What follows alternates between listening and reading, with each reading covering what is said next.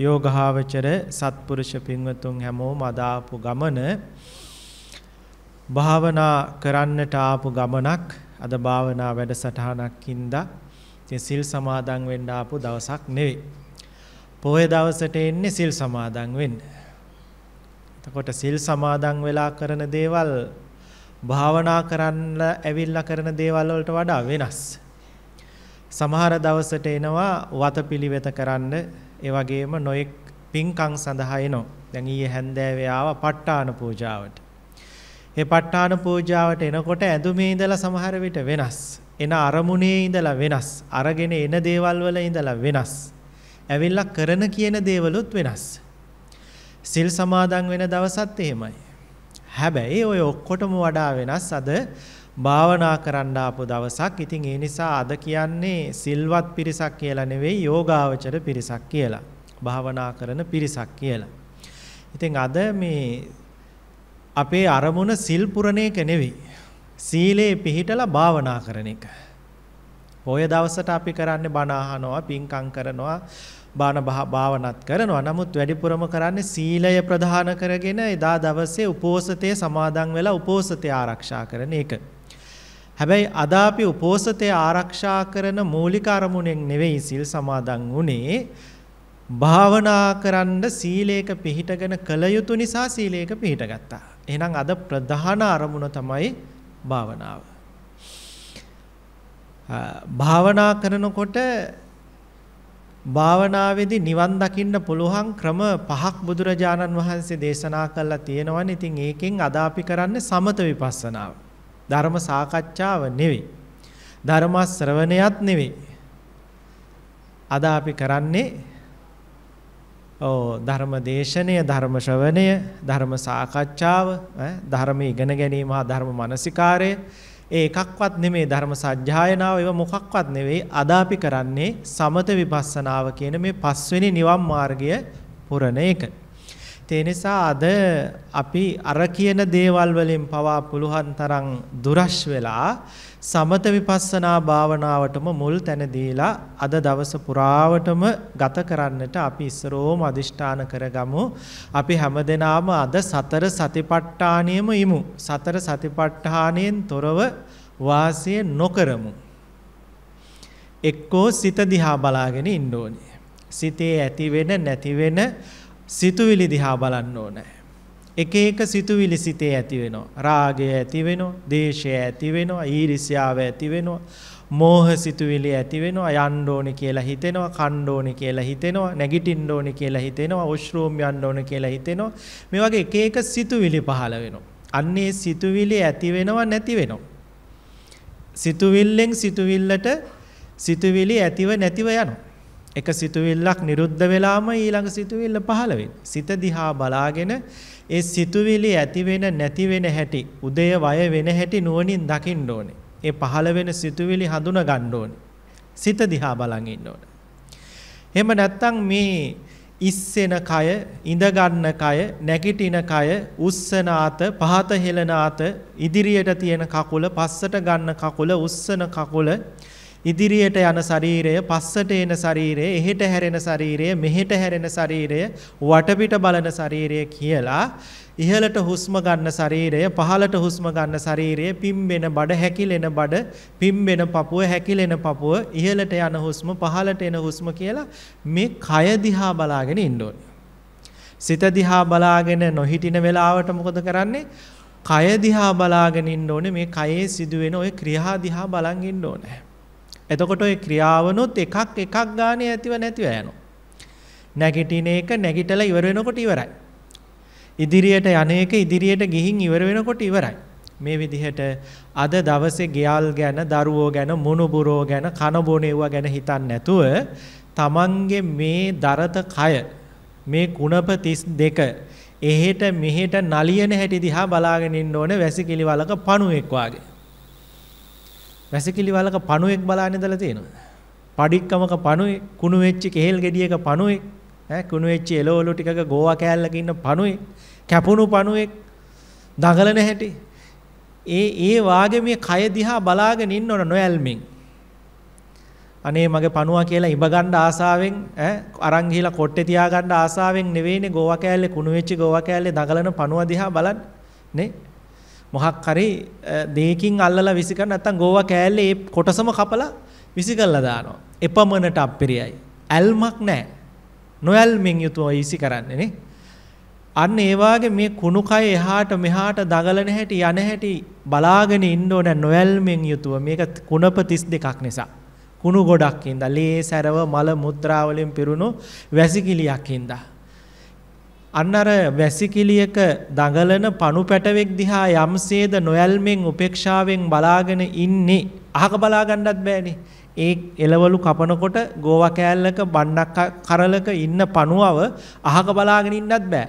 ඒක දිහා බලාගෙන ඒ පණුව ආපහු වෑංජනේට හරි නැත්තම් අර හොඳ එළවලු ටිකට හරි වැටෙයි කියලා පණුවකට ඇහැ අරින්නෙත් අයින් කරන්නෙත් නෑනේ.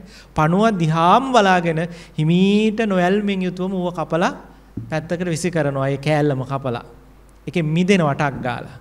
අන්න ඒ පණුවෙක් දිහා බලාගෙන ඉන්නේ යම්සේද එසේම නොයල්මින් මේ කුණප 32 දඟලන හැටි බලාගෙන ඉන්න ඕනේ. හිත දිහා බලාගෙන ඉඳලා ඒ සිතුවිලි ඇති වෙන නැති වෙන හැටි බලන්නත් බැරි නම් මේ කය දිහා බලාගෙන ඉඳලා මේ කයේ දඟලන හැටි ඒ එක එක ක්‍රියාවෝ ඇති වෙන නැති වෙන හැටි බලන්නත් බැරි නම් ඊළඟට අපි කරන්න ඕනේ මේ කයේ හටගන්න වේදනා දිහා බලාගෙන ඉන්න ඕනේ. හන්දි පත්‍රේ දනා එනවනේ දණිහ රිදෙනවා, කෙන්ඩා රිදෙනවා, කොන්ද රිදෙනවා, ඔළුව කකියනවා, බඩ රිදෙනවා, බඩගිනි එනවා, උගුරට එනවා, පපුව රිදෙනවා, පපුවේ දැවිල්ල ඇති වෙනවා, ඇස් ටික ඇස් කහනවා, නහය කහනවා. ඉතින් කටට වක්කාරය වගේනවා, කෙල ගහන්න හිතෙනවා. ඉතින් ඒ වගේ එක එක වේදනාව දැනෙනවා. සමහර වෙලාවට හුලන් ටික සැප් ෆෑන් එකේ හුලන් ටික වදිනකොට සැපයක් දැනෙනවා. ඉතින් මේ වගේ එක එක සැප දුක් වේදනා එනකොට ඒ වේදනා දිහා බලන් ඉන්න ඕනේ. සිත දිහා බලන්නත් බැයි නම්, කය දිහා බලන්නත් බැයි නම් වේදනා දිහා බලන් ඉන්න එහෙමත් බැයි නම් උගන්නපු ධර්මතාවයක් දිහා බලාගෙන ඉන්නවා. බලනවා මේ කයේ ධර්මතා ඇති වෙන නැති වෙන හැටි හේතුඵල පහළ වෙන හැටි කියලා දීලා තියෙනවා. පටිච්ච සමුප්පාදයේම මේ වර්තමානයේ පටිච්චසමුප්පාද අංග ටිකම බලන්නේ කොහොමද කියලා ප්‍රායෝගිකව. ඉතින් ඒ විදිහට ධර්මතාවයන් දිහා බලාගෙන ඉන්නවා. ඉතින් මෙන්න මේ විදිහට බලන් හිටියොත් අද දවසේ පුරාවට ඔයාලා ඉන්නේ කොහෙද? කොතනද ඉන්නේ? පියසෙවනේ.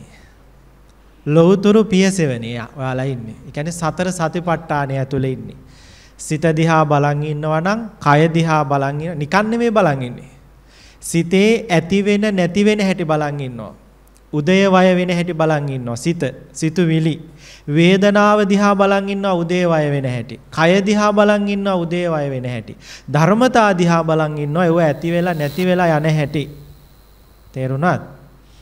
එතකොට ඔයාලට මොකක්ද මේ ධර්මතා හතරම දිහා බලාගෙන ඉන්නකොට උපේක්ෂාවෙන් හදවතට දැනෙන්නේ?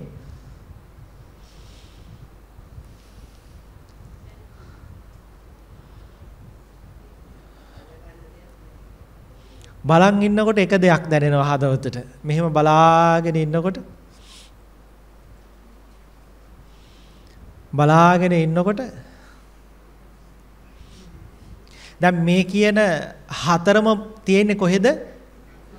මේ මේ අපේ සිත සහිත ශරීරේනේ. දැන් බලාගෙන ඉන්නේ හිත දිහා බලන් හිටියත්, කය දිහා බලන් හිටියත්, වේදනා දිහා බලන් හිටියත්, ධර්මතා දිහා. ධර්මතා කියන එකෙන් අදහස් කළේ ගස් කොළන් දිහා බලන් ඉන්න නෙවෙයිනේ. මේ චතුරාර්ය සත්‍ය කියන්නේ මේකට. පටිච්චසමුප්පාදය කියන්නේ මේකට. පංචස්කන්ධ කියන්නේ මේකට. ආයතන 12 කියන්නේ මේකට. ධාතු 18 කියන්නේ මේකට. ඉන්ද්‍රිය ධර්ම ටික කියන්නේ මේකට. එතකොට සත්‍තිස් බෝධිපාක්ෂික ධර්ම කියන්නේ මේකට. මේකෙන් එහා නෙවෙයිනේ ඔය එකක්වත් තියෙන්නේ. මේක ඇතුලේ. රූප කියලා කියන්නේ මේක මේක දිහා මේකෙන්මයි රූප බලන්න ඕනේ. රූප පිට නෙවෙයිනේ තියෙන්නේ. ඇස් දෙකට වදින රූපනේ අපට පේන්නේ. මේ ලෝකේ තියෙන හැම රූපයක්ම අපිට පේන්නේ එතකොට රූපයක් දිහා බැලුවත්, රූප දැකීම දිහා බැලුවත්, කොයි පැත්තෙන් බැලුවත් මේක දිහා බලන්න. එහෙනම් මේක දිහා අපි බලාගෙන ඉන්නකොට ඔය විදිහට අපට කාරණා කීපයක් තේරෙනවා. මොකක්ද දන්නවද? මේක එක gediyak නෙවෙයි කොච්චරවත් ඇති වෙමින් නැති වෙමින් යන ධර්මතා ස්කන්ධ ටිකක් මේක කියලා තේරෙනවා. ඇයි සිතුවිලිත් ඇති වෙනව නැති වෙනව. ක්‍රියා ඇති වෙනව නැති වෙනව. වේදනා ඇති වෙනව නැති වෙනව. ධර්මතා ඇති වෙනව නැති වෙනව. එතකොට මේක එක gediyak නෙවෙයි කෑලි කෑලි ගොඩාක් ධර්මතා ගොඩාක් එකට එකතු වෙලා අල්ලන්න පුළුවන් එව්වා අල්ලන්න බැරි එව්වා සිතින් දැනගන්න පුළුවන් එව්වා මනසින් ස්පර්ශ කරන්න පුළුවන් එව්වා. මේ වගේ එක එක විදිහේ එක එක ස්වභාවයෙන් යුතු ධර්මතා ගොඩාක් මෙතන තියෙනවා ඒවා ඉපදිපිති නැති වෙනවා කියලා දැනෙනවා. මෙහෙම බලාගෙන ඉන්නකොට හදවතට දැනෙන එකක් තමයි මේ මගේ ශරීරය තුල මේ තියෙන ධර්මතා ඔක්කොම ටික යම් කිසි කාලයක් නිට්ටියව පවතින්නේ නැහැ කියලා දැනෙනවා හදවතට.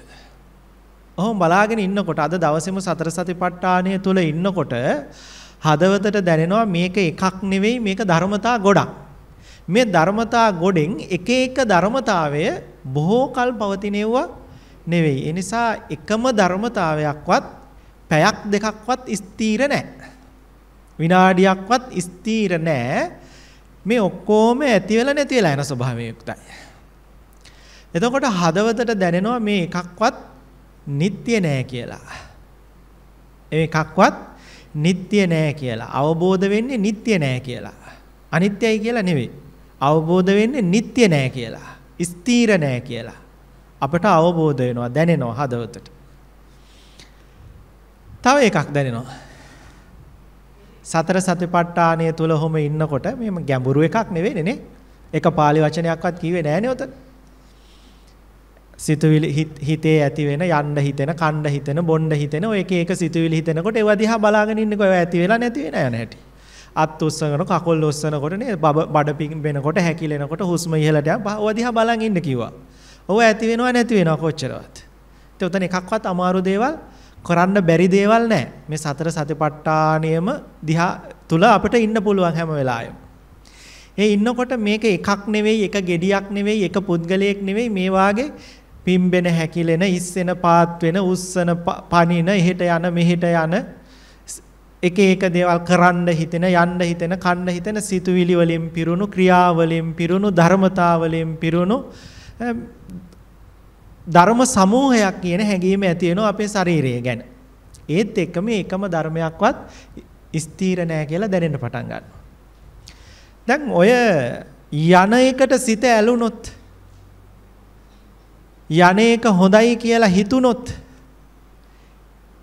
ඒ හොඳයි කියලා හිතුණු යන ක්‍රියාව අපට ස්ථීරව පවත්වන්න පුළුවන් නම් ඒ සැපේ දිගටම විඳින්න පුළුවන්. යන එක හොඳයි කියන තැනකින් අල්ලගත්තොත් ගිහිල්ලා නතර වෙනකොටම දුක පහළ වෙන්න පටන් ගන්නවා. ඇයි දුක පහළ වෙන්නේ? අපි කැමති වුණු දේ නොලැබී යනවා අපිට. අපි ආසා වුණු දේ අහිමි වෙලා යනවා අපිට. ඉඳගෙන ඉන්න එක සැපයි කියලා හිතුනොත් ඒ සැපසේ ඉඳගෙන ඉන්න ක්‍රියාව ස්ථිර වෙනස් වෙනවා. එහින් රිදෙනවා මෙහින් රිදෙනවා එහෙට ඇඹරෙන්න හිතෙනවා. අර මුලින් ඉඳ ගන්නකොට දැනුණු සැපේ ස්ථීර ඒ ඉඳ ගැනීම කියන ක්‍රියාවට ඇලුනොත් ඒ සුඛයට ඇලුනොත් ඒක ඊටාම සුළු කාලයකදී වෙනස් වෙනවා විපරිණාමය වෙනවා. එතකොට ආයෙත් දුක උපදිනවා. එහෙනම් මේ ධර්මතා නিত্য නැති නිසා මොකද වෙන්නේ අපිට? ඒකට ඇලුනොත් විතරයි ඇලෙන ඇලෙන ධර්මතාවයෙන් දුක උපද්දවනවා. කැමති වෙන කැමති වෙන ධර්මතාවයෙන් දුක උපද්දවන ඇයි ස්ථීර නැති නිසා. තේරුණාද? හැබැයි අපි කැමති වුණත් කොච්චර උත්සාහ කළත් කැමති වුණත් ওই උපේක්ෂාවෙන් බලන් ඉන්නකොට තේරෙනවා මගේ කිසිම කැමැත්තක් අකමැත්තක් ඒ ධර්මතාවලට අදාළ නැහැ. මම කියන දේ අහන්නේ මම ආසදේ මම කැමති දේ ගැන හැරිලවත් බලන්නේ ගහක කොලක ඇලක දොලක ධර්මතාවයක් හට අරගෙන නිරුද්ධ වෙනවා වාගේ මගේ කිසිම කැමැත්තක් අකමැත්තක් පිළිබඳ කිසිම හැඟීමක් නැතුව ඒ ධර්මතා ඒ ධර්මතාවයන්ට ඕන විදිහට নিরතුරුවම ඇති වෙවි නැති වෙවි යනවා කියලා දකිනකොට ඒ ධර්මතා මමගේ නෙවෙයි කියන හැඟීමක් ඇති වෙනවා. මට අයිති ධර්මතා නෙවෙයි සබහා දහමට අයිති ධර්මතා ටිකක් කියන එක හැඟීමක් ඇති වෙනවා.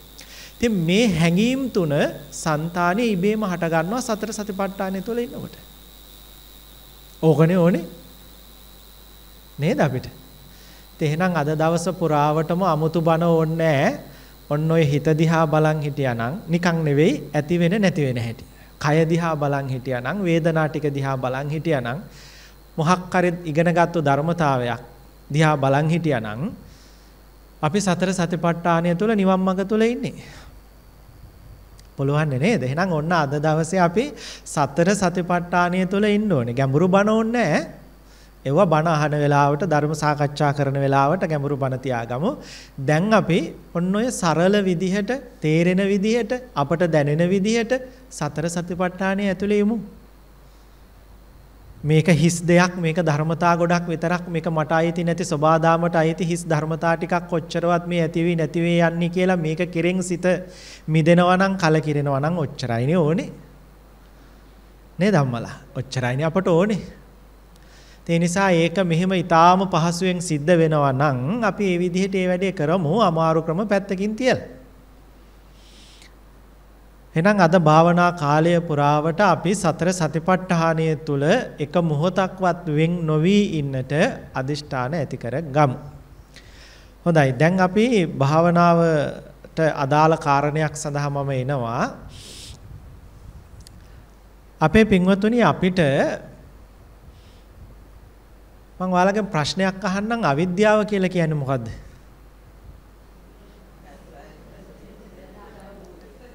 චතුරාර්ය සත්‍ය නොදැනීම. ඇත්ත ඇති සැටියෙන් නොදැනීම. ආයි තවත් මොන හරි අදහස් තියෙනවද? අකුසල ධර්මයක්. අනුසය ධර්මයක් ඔව් අනුශය ධර්මයන් ලෝභය දේශ මොහාදී අනුශය ධර්මයන්. තව අවිද්‍යාව කියලා කියන්නේ මොකක්ද? හරි. දැන් ඔයාලා එක එක උත්තර දුන්නා. මම දැන් තව ඇහුවත් එන්නේ මට පේන හැටියට ඒ උත්තර ටික. හැබැයි අම්මේ ධර්මයේ ඉගෙන ගන්න පිරිසකගෙන් ඔය උත්තර ටික ආවොත් සන්තෝෂ වෙන්න පුළුවන්. ධර්මයේ ඉගෙන ගන්න පිරිසක්. ඒ කියන්නේ විනය පිටකයේ සූත්‍ර පිටකයේ අභිධර්ම පිටකයේ ඉගෙන ගන්න පිරිසකගෙන් නිතර බණ අහන නිතර ධර්ම සාකච්ඡා කරන පිරිසකගෙන් ඔන්න ඔය උත්තර ටික ආවොත් සන්තෝෂ වෙන්න පුළුවන් අවිද්‍යාව කියලා කියන්නේ මොකක්ද? දුක්ඛේ අඥානං දුක්ඛ සමුදය අඥානං ආදි වශයෙන් උත්තරයක් දුන්නාම සන්තෝෂ වෙන්න පුළුවන්. හැබැයි භාවනා වඩන පිරිසකගෙන් ඔය වගේ උත්තරයක් ආවොත් සන්තෝෂ වෙන්න පුළුවන් කමක් නැහැ. මොකද භාවනා යෝගියෙකුට අවිද්‍යාව හම්බ වෙන්නේ ওই විදිහට නෙවෙයි. භාවනා යෝගියෙකුට අවිද්‍යාව හම්බ වෙන්නේ ඔය වචන වලින් නෙවෙයි. ඔව්ව බුදුවරු දේශනා කළොත් මිසක භාවනා කරපු යෝගියෙකුට ඔය වචන ටික හම්බ වෙන්නේ නැහැ. එයාට හම්බ වෙන්නේ අවිද්‍යාවේ අර්ථය. නැත්තම් අවිද්‍යාවේ ස්වභාවය. දැන් අම්මලාට මහත්යත් එක්ක අපි කියමු දැන් අම්මලා කැමති අද මහත්තයා ගෙදර ඉන්නවා නම් හැබැයි මහත්තයා යාළුවෙක් එක්ක මොකක් හරි ගමනක් දාගෙන අම්මලා එපා කියද්දි යනවා. ගෙදර මොන හරි ලොකු වැඩක් තියෙනවා අද මහත්තයාට කියලා නිවාඩු දවසේ කරව ගන්න. හැබැයි මේ ගෙදර අත්‍යවශ්‍ය වැඩේ අපි කියමු ගෑස් ලිපේ මොනවා හරි වෙලා මහත්තයා දෙක හදා ගන්න උයා ගන්න විදිහක් නැහැ දවාලට. ගෑස් ලිප හදලා දෙන්නේ නැතුව යාට යාළුවා ලොකු වෙලා යාළුවා කතා කරපුවාම යනවා. දැන් හිතට එන එක ඔයාලගේ දැන් හිතට දැනෙන එක බුදුරජාණන් වහන්සේගේ එකම වචනයක්වත් භාවිතා කරන්නේ නැතුව මට කියන්න බලන්න. බුදුරජාණන් වහන්සේගේ වචන භාවිතා කරන්න බෑ. ඒ කියන්නේ ද්වේෂය, තරහ, ඔය ආදි වශයෙන් බුදුරජාණන් වහන්සේගේ වචන භාවිතා කරන්න නැතුව පටිගය, ගැටීම ඒවා බුදුරජාණන් වහන්සේගේ වචන. ඒ බුදුරජාණන් වහන්සේගේ වචන භාවිතා කරන්න නැතුව ඔයාලගේ හදවතට ඒ වෙලාවට එන හැඟීම කියන්න බලන්න. ඈ දුක කියන්නේ බුදුරජාණන් වහන්සේගේ පළවෙනිම වචනේ ධම්සක් පැවතුම් සූත්‍රය දේශනා කළා.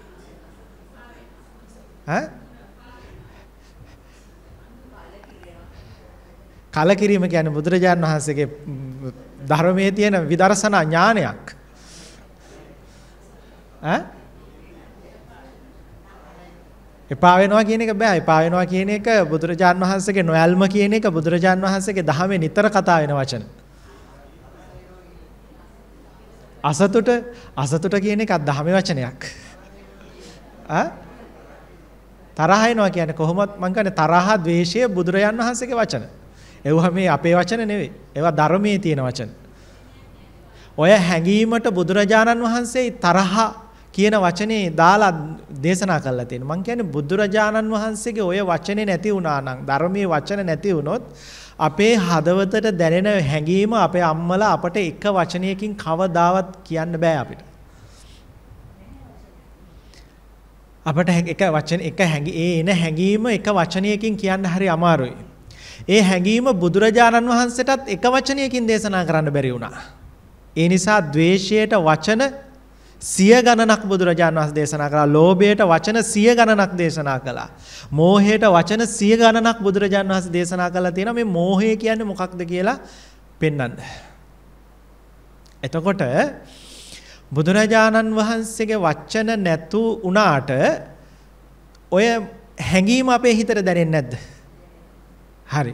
එතකොට මෙන්න මේ අවිද්‍යාව කියන එක බුදුරජාණන් වහන්සේගේ වචන නැති වුණත් භාවනා යෝගියෙකුට හදවතට දැනෙන ස්වභාවයක් තියෙන. හැබැයි බුදුරජාණන් වහන්සේගේ වචන 100ට 100ක් නැතුව අපිට කිසිම ධර්මතාවයක් විස්තර කරන්න බෑ. මම මේ උදාහරණේ ගත්තේ අපේ හදවතට දැනෙන හැඟීමක් තියෙනවා මේ අවිද්‍යාව කියන්නේ මොකක්ද කියලා. අන්න ඒක මොකක්ද කියලා හිතුවේ මම මේ. තේරුණාද? ඔය චතුරාර්ය සත්‍ය නොදැනීම දුක්ඛේ අඥානං ආදි වශයෙන් බුද්ධ දේශනාවෙන් උත්තර දීම ඔයාලගේ අත්දැකීමක් නෙවෙයි අම්මලා. ඒක බුදුරජාන් වහන්සේගේ අත්දැකීමක්. බුදුරජාන් වහන්සේ බොමුලදී ලැබපු උන්වහන්සේගේ පෞද්ගලික අත්දැකීමක් ඔය අපි කියන්නේ. ඒ නිසා අනුන්ගේ අත්දැකීමක් නෙවෙයි අපිට ඕන වෙන්නේ.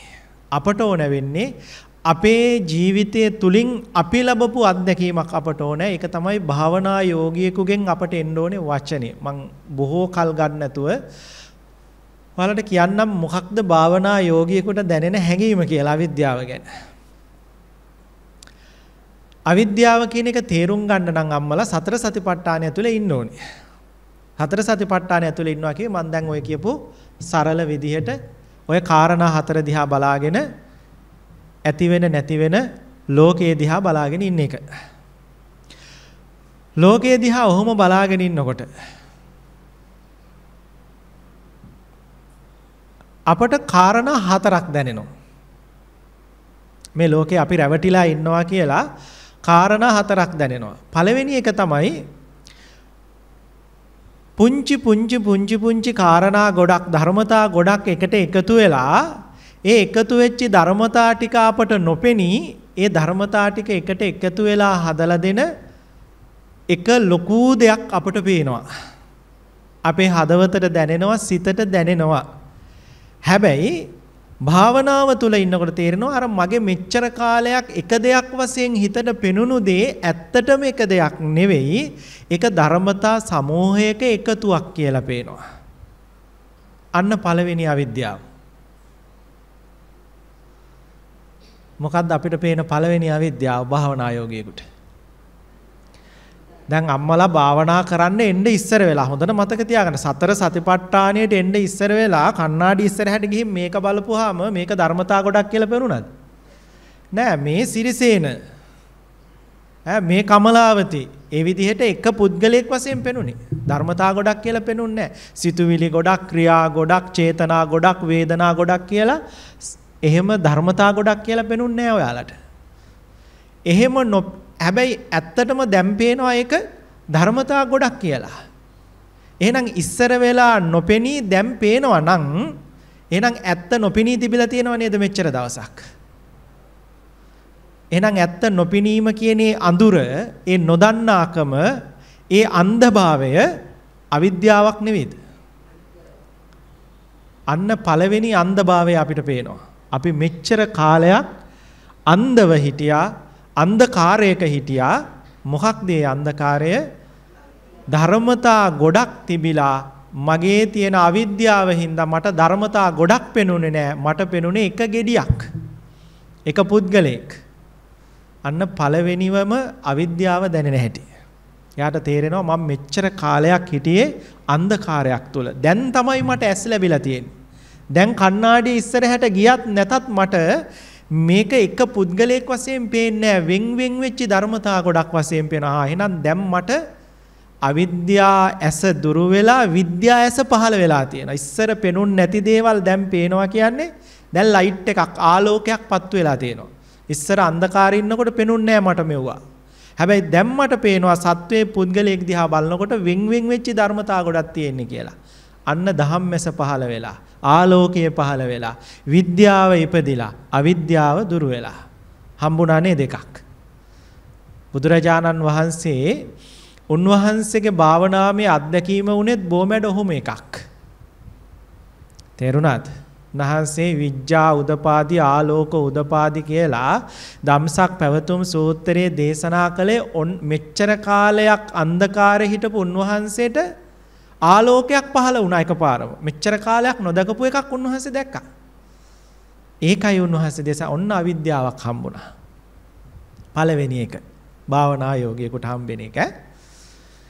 දෙවෙනි අවිද්‍යාව තමයි අම්මලා දැන් හොඳට බලන්න අපි හැම වෙලාවකම ඔය කියන එක එක ධර්මතා දැන් අපි කියමු යන එක වේවා ඉන්න එක වේවා. මොනවා හරි කමන්නේ ධර්මතා දිහා බලාගෙන ඉන්නකොට මේ සතර සතිපට්ඨානිය ඇතුලේ ඉඳලා අපිට පේනවා හැම ධර්මතාවයක්ම මොහොතක්වත් නොපැවති කොච්චරවත් නැති වෙවි යනවා වෙනස් වෙවි යනවා. හැබැයි මේ වෙනස් වෙවි මොහොතක් මොහොතක් ගානේ වෙනස් වෙවි යන බව පේන්නේ දැන් සතර සතිපට්ඨානියට ආපු හින්දා. සතර සතිපට්ඨානයේ නොහිටපු කාලවල මට පෙනුනේ ඉපදුණු දවසේ ඉඳලා මැරෙන කල්ම මම ජීවත් වුණා කියලා. ඉපදුණු දවසේ ඉඳලා මැරෙන කම්ම මම ජීවත් වුණා කියලා. ගෙදරින් පිටත් වුණු තැන ඉඳලා පන්සලට එන කල්ම මම පන්සලට ආවා කියලා. වචන ගණනාවක් කිව්වේ නෑ මං. මං දැක්කේ මං ගෙදර ඉඳලා පන්සලට ආ මීට ඉස්සලා මොකද්ද කළ ක්‍රියාව? මං ගෙදර ඉඳන් පන්සලට ආවා. පන්සලේ ඉඳන් මං ගෙදර ගියා. මං දවසම සිල් සමාදන් වෙලා හිටියා. දවසම සිල් සමාදන් වෙලා හිටියා. එහෙම තමයි පේන්නේ සතර සතිපට්ඨානය ඇතුලේ ඉන්නේ නැති කෙනාට. ඒ තමයි අන්ධකාරයේ ඉන්නකොට පෙනෙන හැටි. හැබැයි සතර සතිපට්ඨානය ඇතුලේ ඉන්න කෙනෙකුට ඔය මම කියපු විදිහට ලෝකේ දිහා බලාගෙන ඉන්න කෙනෙකුට පේන්න පටන් ගන්නවා දවසක් සිල් සමාදන් වෙලා හිටපු කෙනෙක් තියා මොහොතක්වත් සිල් සමාදන් වෙලා ඉන්න කෙනෙක් නෑ කියන එක පවතින්නේ නෑ කියන එක. මං ඉහළට හුස්මක් ගන්නකම් සිල් සමාදන් වෙලා ඉන්නවා. පහළට හුස්මක් හෙලනකම් සිල් සමාදන් වෙලා ඉන්නවා. මම ගෙදර ඉඳලා පන්සලට එනකොට එනවා නවතිනවා. ආයේ එනවා නවතිනවා. එනවා නවතිනවා. මේ විදිහට මේ දීර්ඝ වශයෙන් පවතින කිසිම ධර්මතාවයක් නැහැ. හැබැයි මට ඒ දීර්ඝ වශයෙන් නොපවතින ධර්මතා තිබ්බට ඒව ඔක්කොම එකට එකතු කරගෙන අතීත අනාගත වර්තමාන ඔක්කොම එකට එකතු කරගෙන දීර්ඝ කාලීවනව පවතින ක්‍රියා ගොඩක් මට හම්බුණා ධර්මතා ගොඩක් දීර්ඝ කාලේනව පවතින වස්තු ගොඩක් මට හම්බුණා හැබැයි දැන් මට තේරෙනවා එක මොහොතක්වත් පවතින ධර්මතා නෑ කියලා. අන්න දෙවෙනි අවිද්‍යාව. මොකක් ධම්මලා දෙවෙනි අවිද්‍යාව? බොහෝ කල් පවතිනවා වාගේ මට මෙච්චර කාලයක් අන්ධකාරයේ ඉන්නකොට පෙනුනට ඇත්තටම බොහෝ කල් පවතින දේවල් නැහැ. මොහොතක් මොහොතක් ගානේ නැති වෙලා යනවා මිසක බොහෝ කල් පවතිනෙව්ව නැහැ. අර අපි මෙච්චර කාලයක් කරපු භාවනාව ගැන හිතන්නකෝ මේ වචී සංස්කාර සම්මර්ෂණේ. අම්මා කියන වචනේ ඇහෙනකොට අම්මා කියන වචනය කියන්න යන කාලය තුල පවතින වචනයක් නෑ අපිට හිතෙන්නේ මට අම්මා කිව්වා කියලානේ. නමුත් ආ කියන එක කියලා ඒක ඉවර වුණා. ම් කියන එක කියලා ඒක ඉවර වුණා. මා කියන එක කියලා ඒක ඉවර වුණා. පස් අතීත ක්‍රියා ටිකක් එකට එකතු කරගෙන අම්මා කියන වචනයම කිව්වා කියන බවක් අපට ඇති වෙනවා. දැන් අම්මලා පුංචි කාලේ ඉන්නකොට පුංචි කාලේ හිටපු අම්මද තරුණ උනේ පුංචි කාලේ හිටපු අම්මද මැදි වයසට ආවේ? පුංචි කාලේ හිටපු අම්මද මහලු වුණේ? පුංචි කාලේ හිටපු අම්මමද මැරෙන්නේ? නෑනේ. පුංචි කාලේ හිටපු අම්මා තරුණ වුණා කියමුකෝ. හැබැයි මැදි වයසට එන්නේ තරුණ අම්මා. පුංචි කාලේ අම්මා තරුණ වෙනකොට පුංචි කාලේ අම්මා ඉවරයි. දැන් ඉන්නේ තරුණ තරුණ අම්මා තමයි මැදි වයසට යන්නේ. මැදි වයසට ගියාම තරුණ අම්මා ඉවරයි. මැදි වයසේ අම්මා තමයි මහලු වෙන්නේ. මැරෙන්නේ කවුද? අම්මා කියනවා අනේ මට මගේ දැන් හිතන්නකො මගේ කුසෙන් උපන්න අනේ මගේ දුව මැරුණා කියනවා. නමුත් එයාගේ කුසෙන් උපන්න දුව නෙමෙයි මැරුණේ. එයාගේ කුසෙන් උපන්න දුව තරුණ වුණා. ඒ තරුණ දුව තමයි ඊළඟට මැදි උන්නේ මැදි වයසට ගියේ මැදි වයසට ගියපු දුව තමයි වයසට ගියේ වයසක දුවයි මැරෙන්නේ. තේරුණාද? හැබැයි අපට තේරෙන්නේ පුංචි කාලේ ඉපදුණු ඒ දරුවම තරුණ වෙලා ඒ දරුවම මැදි වයසට ගිහිල්ලා ඒ දරුවම මහලු වෙලා ඒ දරුවම මැරුණා කියලා. ඔය තමයි අවිද්‍යාව. හැබැයි භාවනා කරන යෝගියාට පේනවා ඒ ධර්මතාවය එතනම නිරුද්ධ වෙලා ළමා කාලය එතනම නිරුද්ධ වෙලා තමයි තරුණ කාලයට ආවේ. තරුණ කාලය කියන එක ඒ සියලු ධර්මතා එතනම නිරුද්ධ වෙලා තමයි මැදි වයසට ගියේ. එහෙනම් අවුරුදු 100ක් ජීවත් වුණු කෙනෙක් හම්බ වෙන්නේ නැහැ. තේරුණාද? බොහෝ කල් පවතින ධර්මතා හම්බ වෙන එක අවිද්‍යාව. විද්‍යාව ඇස පහළ වුණු ගමන් බොහෝ කල් පවතින ධර්මතා හම්බ වෙන්නේ ක්ෂණයක් ක්ෂණයක් පාසා නැති වෙන ධර්මතා හම්බ වෙන්නේ. දැන් මෙච්චර කල් නොපෙනී පස්සේ පෙරුණා කියන්නේ අවිද්‍යාව නේද? හරි. ඊළඟට තියෙනවා දැන් අපි පොඩ්ඩක් භාවනාවට යමු වෙලා ඊළඟ දෙක දැනගමු ඈ. ගැඹුරු දහම් එක දිගට කියනකොට නිදිමත එනවා. ඔයාලට නෙවෙයි මට නිදිමත එන හින්දා මම මේ කියන්නේ. ඔයාලට නිදිමත එන්නේ ඔයාලා හරි ආසාවෙන් අහගෙන ඉන්නවා. එනිසා මට නිදිමත යන්න අපි දැන් සක්මන් භාවනාවක් ටිකක් නැගිටලා කරමු.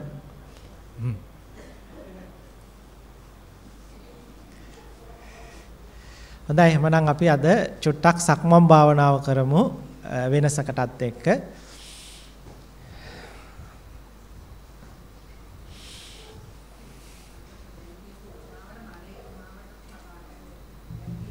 ආ ඔව් අපේ මෑණියෝ. මම අර මීට ඉස්සෙල්ලා දවසක් උගන්වපු මලේ උපමාවට සමානයි. හොඳයි. දැන් අපි සක්මන් භාවනාව සඳහා යමු යමු සතර සතිපට්ඨානිය ඔළුවේ තියාගන්න. දැන් කායානුපස්සනාව වේදනානුපස්සනාව චිත්තානුපස්සනාව ධම්මානුපස්සනාව කියන සතර සතිපට්ඨානියම සක්මන තුළ ඊටාම පහසුවෙන් සරලව අපට වඩන්න පුළුවන්.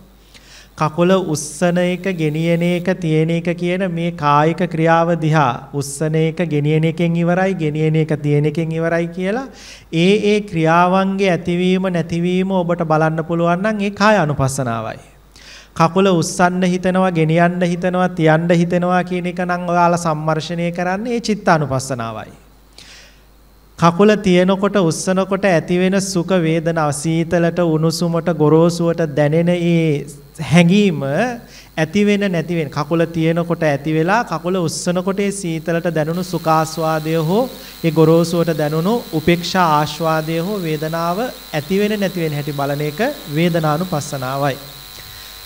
කකුල තියෙනකොටම ඒ වේදනාව හටගත්තේ කකුලයි පොළවයි කියන දෙක එකට ස්පර්ශ වුණු නිසා කියන ධර්මතාවය දැක්කොත් හේතුඵල ධර්මතාවයක් දැක්කොත් එතන ධම්මානුපස්සනාවට එනවා හේතුඵල දැක්කොත් ඒ නිසා මේ සතර සතිපට්ඨානෙන් මාරුවෙන් මාරුවට හරි එකක හෝ දෙක හෝ කොහොම නමුද සතර සතිපට්ඨානය තුළම සක්මන තුල ඉන්නේ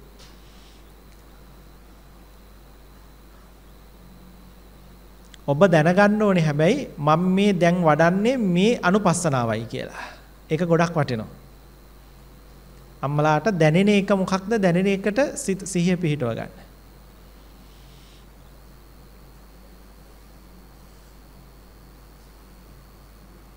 කෝක වැඩුවත් සතර සතිපට්ඨානියමයි ඈ පියා සතු ගෝචරය ඇතුළෙමයි ඉන්නේ නිවන්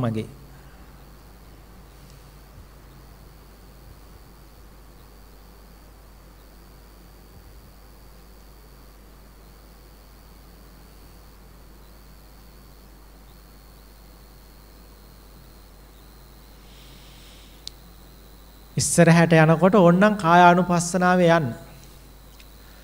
කකුල උස්සන හැටි, ගෙනියන හැටි, තියෙන හැටි. උස්සන ක්‍රියාව ගෙනියන ක්‍රියාවට එනකොට ඉවරයි. ඒ ක්‍රියාව තියෙන ක්‍රියාවට එනකොට ඉවරයි. තියෙන තියාගෙන ඉන්න ක්‍රියාව උස්සන ක්‍රියාවට එනකොට ඉවරයි. ඒ විදිහට ඒ කයේ ක්‍රියාවන්ගේ ඇතිවීම නැතිවීම බලමින් ඉස්සරහට යන්න. ආපස්ස හැරිලා එනකොට කකුල තියන්න හිතෙනවා උස්සන්න හිතෙනවා කියලා සිත දිහා බලාගෙන ඉන්නේ සිතුවිලි දිහා. ඒව කොච්චරවත් ඇති වෙන්නේ තියන්න හිතෙන සිත උස්සන්න හිතෙන සිත පහළ වෙනකොට ඒ සිත නිරුද්ධ වෙලා තමයි උස්සන්න හිතෙන සිත පහළ වෙන්නේ. සිත දිහා බලාගෙන චිත්තානුපස්සනාවෙන් එන්න පුළුවන්. ආය පාරක් ඉස්සරහට යනකොට වේදනාවක් හටගන්නවත් කකුල තියෙනකොටම කකුල උස්සනකොට මේ සීතල උණුසුම ගොරෝසු වශයෙන් දැනුණු වේදනාව නිරුද්ධ වෙනවා. ආය තියෙනකොට හටගන්නවා උස්සනකොට නිරුද්ධ වෙනවා. වේදනාව බල බලා යන්න පුළුවන්. ආපස්සට එනකොට ආයෙත් පුළුවන් ඕනනම් ස්පර්ශ පස්ස පච්චයා වේදනා. අර වේදනාව හටගන්නේ ස්පර්ශය නිසා කකුලයි පොළවයි දෙක එකට ස්පර්ශ වෙන නිසා. පස්ස පච්චයා වේදනා. ආයතන. කකුල කියන කාය ආයතනයයි පොළව කියන පොට්ටබ්බ ආයතනයයි දෙක එකට ස්පර්ශ වීම නිසා තමයි අර සීතල උණුසුම ගොරෝසු බව කියන සුඛ ආස්වාදයේ හටගන්නේ වේදනාව හටගන්නේ. පස්සපච්චයා වේදනා පස්සපච්චයා වේදනා.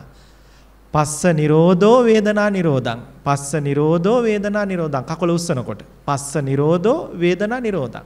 කකුල තියෙනකොට පස්ස පච්චයා වේදනා. කකුල උස්සනකොට පස්ස නිරෝධෝ වේදනා නිරෝධං. දැන් ඔය කියලා දුන්නේ සතර සතිපට්ඨානයට වඩන්න පුළුවන් ඊටාම පහසු ක්‍රමයක්. සියලු ක්‍රම එහෙම නෙවෙයි ඈ ඒක අති දීර්ඝයි. ඉතින් අපිට ඔය වගේ පහසු ක්‍රමයකින් මේ සතර සතිපට්ඨානය අල්ල ගන්න පුළුවන්. ප්‍රායෝගිකව වඩන්න පුළුවන්. හොඳයි දැන් අපි පරියංක භාවනාවටත් මේ සතර සතිපට්ඨානයම ආස්වාස ප්‍රාස්වාස හුස්ම අරමුණු කරගෙන සතර සතිපට්ඨානියම වැඩෙන විදිහට පරියංක භාවනාවෙත් නිරත වෙමු. දැන් සක්මනේ සතර සතිපට්ඨානය අල්ලපු විදිහටම අපට පුළුවන් හුස්ම පොදිනු සතර සතිපට්ඨානය අල්ලගන්න. කායානුපස්සනාවේදී කෙලින්ම අපි දන්නවා පිම්බෙන හැටි, හැකිලෙන හැටි, පිම්බීම කියන ක්‍රියාව හැකිලීම කියන ක්‍රියාවට එනකොට අවසන් වෙලා යනවා. පිම්බෙනවා හැකිලෙනවා කියන්නේ ක්‍රියා දෙකක්. ඇති වෙන නැති වෙන ක්‍රියා දෙකක්. ඉහළට අදින බව පහළට හෙළන බව කියන්නේ ක්‍රියා දෙකක්. ඉතින් මේ විදිහට අපට පුළුවන් කායානුපස්සනාව වඩන්න. ඒව ඇති වෙන නැති වෙන හැටි බලමින්. උපේක්ෂාවෙන්. අවිද්‍යාව දෝමනස දුරු වෙන්න ඕනේ. ඒ කියන්නේ ඇලෙන්නත් බෑ, ගැටෙන්නත් බෑ. හුදු ධර්මතාවයන්ගේ ඇතිවීම නැතිවීම දිහා බලාගෙන ඉන්න ඕනේ. හොඳට වීරියෙන් සිහියෙන් බලාගෙන ඉන්න ඕනේ. ඊළඟට අපට පුළුවන් මේ අතරෙදි අපේ සිතට පහළ වෙන දැන් හුස්ම ගන්න හිතෙනවා නම් හෙලන්න හිතෙනවා නම් හුස්ම ගැනීම හැකිලි කියන ක්‍රියාව নিরතුරුවම හිතලම කරන එකක් නෙවෙයි ඉබේ වෙන එකක්. එහෙම හිතෙනවා නම් ඒ හිත බල ඒ හිතේ ඇති වෙන නැති වෙන එක බලන්න පුළුවන්. එහෙම නැත්නම් මොනවා හරි සිතුවිල්ලක් හිතට ආවොත් ඒ සිතුවිල්ල මනසිකාර කරන්න පුළුවන්. ඕක දිහා බලන් ඉන්න ගමන් එක එක දේවල් හිතෙන්න පුළුවන්. ඒ යම් සිතුවිල්ලක් හිතට එනකොට ඒ හිතෙන සිතුවිල්ල තව අරමුණක් හිතන වෙලාවට අම්මා ගැන සිහි වෙන සිත නෙවෙයි තාත්තා ගැන සිහි වෙනකොට තියෙන්නේ. දරුවෙක් ගැන සිහි වෙන සිත නෙවෙයි gedara ගැන සිහි වෙනකොට තියෙන්නේ. අර සිත නිරුද්ධ වෙලාම තමයි අලුත් අරමුණක් අරගෙන අලුත් සිතුවිල්ලක් පහළ වෙන්නේ. සිත කියලා ගන්න එපා සිතුවිලි. ඒ පහළ වෙන සිතුවිලි වැල්වැල් ඇති වෙන නැති වෙන හැටි බලන්න. සිතක් උපන්නා ඒ සිත නැති වුණා. සිතක් ඉපදෙනවා නැති වෙලා යනවා. එහෙම බලන්න භාවනා කරන අතරේදී පහළ වෙන සිත් ඊළඟට මෙතන නාසික අගට සීතලට දැනෙන එක උණුසුමට දැනෙන එක ඒ සීතලට දැනෙන බව උණුසුමට දැනෙන බව වේදනානුපස්සනාව වශයෙන් වඩන්න පුළුවන්. ඒ අතරත කයේ මොනවා හරි වේදනාව වෙනවා නම් හන්දිපත්වල ඒ ඇති වෙන වේදනාවේ ඇතිවීමයි නැතිවීමයි බලන්න පුළුවන්. ඉතින් ඒ විදිහට වේදනානුපස්සනාව වඩන්නත් පුළුවන් අපිට. එහෙමත් නැත්නම් අපිට පුළුවන් ධම්මානුපස්සනාවට බහින්න. ඇයි මේ සීත බව උණුසුම් බව සීත බව උණුසුම් බව මේක ඇති වෙන්නේ ඇයි මේක දැනෙන්නේ ඇයි මේ සීතල උණුසුම ඇති වෙන්නේ මේ ගොරෝසු වුණු හුස්ම කය මේ නාස් කුහරේ ස්පර්ශ වෙන හින්දා ඒ ස්පර්ශය නිසාමයි සීතල දැනෙන්නේ. ස්පර්ශය නිසාමයි උණුසුම දැනෙන්නේ. ස්පර්ශය නිසාමයි ඉහළට යන බව දැනෙන්නේ. ස්පර්ශය නිසාමයි පහළට යන බව දැනෙන්නේ. පස්ස පච්චයාමයි මේ වේදනාව සිද්ධ වෙන්නේ. පස්ස පච්චයාමයි මේ වේදනාව සිද්ධ වෙන්නේ. ඇයි පස්සේ උනේ? කයේ දැනෙන බව නාසිකා අග නාසිකා කුහරේ උඩු තොල්පටේ දැනෙන බව කියන කාය ප්‍රසාදයේ තිබ්බු හින්දා දැනෙන බව තිබ්බු හින්දා කාය ආයතනේ. ඒ දැනෙන බව තිබ්බු නිසා තමයි ඒ හුස්ම පොද කයේ ස්පර්ශ වෙනකොට ඒක දැනගන්න පුළුවන් උනේ. ඒ දැනෙන බව ඇති උනේ ඇයි මේ නාසිකා අග නාස් කුහරය උඩු තොල්පට කියන මේ මස් කුංග නැත්තම් මේ මස් පිඩ තිබ්බු හින්දා අම්මගේ කුසේ මේ මස් පිඩ පහළ වුණු හින්දා. ඒ මස් පිඩ පහළ නොවුනා නම් මේ මස් පිඩ ඇසුරු කරගෙන අර දැනෙන බව ඇති වෙන්නේ නැහැ. ඒ මස් පිඩ ඇති උනේ ඇයි අම්මගේ කුසට විඥානයක් බැසගත්තු හින්දා. ඇයි විඥානයක් බැසගත්තේ? අතීතයේ අවිද්‍යා කර්ම තෘෂ්ණා නිසා අවිද්‍යා කර්ම තෘෂ්ණාවන් නිසා එහෙමනම් දැන් මම මේ ඇත්ත ඇති සැටියට නොබලන හැම මොහොතකම ආපහු අම්මගේ කුසට විඥානයක් බැහැ හේතු මම හදනවා දැන් මම මේ ස්පර්ශය මේ විදිහට මානසිකාර කරනවා කියන්නේ අවිද්‍යාව නැති වෙනවා කියන එකක්. එතනදී අවිද්‍යාව නැහැ. ඔක ওই විදිහට සම්මර්ෂණය කරන තැන හිතේ අවිද්‍යාව නැහැ. ඒ කියන්නේ ආපහු අම්මගේ කුසට විඥානයක් බැස ගන්න හේතු මං හදන්නේ කියන එකක්. කියලා රවුම චක්‍රය සම්පූර්ණ වෙනවා. කියන්නේ මේ මොහොතේ ඔයාලා ඒ විදිහට මෙනෙහි නොකළොත් මේ මොහොතේ ආය අවිද්‍යා තෘෂ්ණා හැදෙනවා. ඒ විදිහට ආපස්සට මෙනෙහි කළොත් මේ මොහොතේ අවිද්‍යා තෘෂ්ණා හැදෙන එක නැති වෙනවා.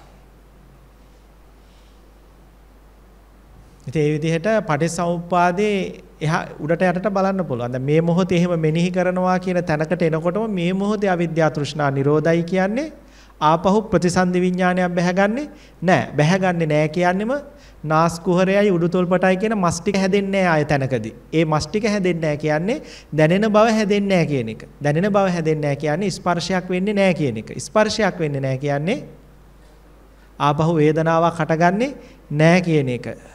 එහෙනම් මම මේ පැත්තට බලනවා කියන්නෙම අවිද්‍යා තෘෂ්ණා ප්‍රතිසන්දි විඥාන ආයතන පස්ස වේදනා උපාදානාදී චක්කරේම නිරෝධ වෙනවා කියන එකක්. තේරුණාද? ඉතින් අන්නෝ විදිහට පටිච්චසමුප්පාදය එහාට මෙහාට සම්මර්ෂණය කරන්නත් පුළුවන් නාසිකාග සිහිය තියාගෙන හුස්ම පොදේ ස්පර්ශය අල්ලගෙන.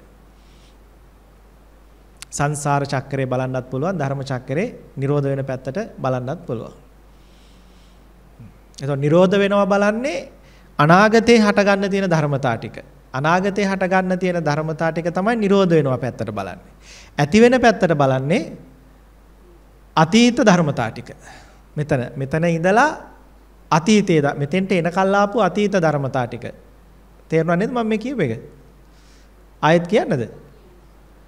දැන් නාසික අග ඔන්න හොඳ සරල වහගන්න නාසික අග සිහිය තියාගෙන ඉන්නකොට මෙතන ගොරෝසුවට ස්පර්ශයක් නැ සීතල දැනෙනවා නැත්තම් උණුසුම දැනෙනවා නැත්තම් හුස්ම පොද වදිනවා දැනෙනවානේ නාසික අග හරි උඩු තොල්පටේ හරි ඔහොම මොනවා හරි එකක් දැනෙනවා අපිට හුස්ම වදින වේදනාව. ඒ ඒ දැනෙන බව අම්මල හැම වෙලාවෙම වේදනාව. පැහැදිලි නේද? අපට මේ ස්පර්ශය දැනෙන්නේ නැහැ. අපිට දැනීම් මට්ටමට එන්නෙම වේදනාවක් මොකක් හරි. ඒක සුඛ හෝ දුක්ඛ හෝ උපේක්ෂා හෝ. අපි සුඛ දුක්ඛ වේදනා කියලා හිතාගෙන ඉන්නේ බලවත් වූ දුක්ඛ වේදනාවටයි බලවත් වූ සුඛ වේදනාවටයි. හැබැයි සාමාන්‍ය මේ නාසිකාගමේ හුස්ම ඉහළට වැදිලා යන බව කියන එකත් සුඛ ආස්වාදයක්. සියුම් නමුත් සුඛ වේදනාවක් ඒක. එහෙනම් මෙන්න මේ සුඛ වේදනාව ඇති වෙන්නේ හුස්ම වදින සුඛ වේදනාව ඇති වෙන්නේ ඇයි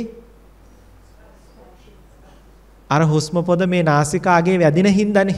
නොවැදුනා නම් වෙන්නේ නැහනේ. වැදෙන නිසා. එහෙනම් ස්පර්ශය නිසාමයි මේ වේදනාව හටගන්නේ. ස්පර්ශය නැතුව ওই වේදනාව උපද්දවන්න පුළුවන්ද? නාසිකා අග හුස්ම වද්දන්න නැතුව හුස්ම ගන්න නැතුව ඉඳලා බලන්න මේ සීතල නාසිකාග ඇති කරන්න පුළුවන්ද කියලා? බෑ. අර ස්පර්ශය වෙන්නම ඕනේ වේදනාව හටගන්න නම්. එහෙනම් ස්පර්ශ ප්‍රත්‍යයෙන්මයි වේදනාව හටගන්නේ. වේදනාව ඇති වෙනවා කියන්නේම ස්පර්ශයක් ඇති වුණු නිසා. ස්පර්ශයක් ඇති වුණේ කොහොමද? දැන් හුලං කොච්චරවත් මේකේ වැදුනා කියලා ස්පර්ශ වෙන්නේ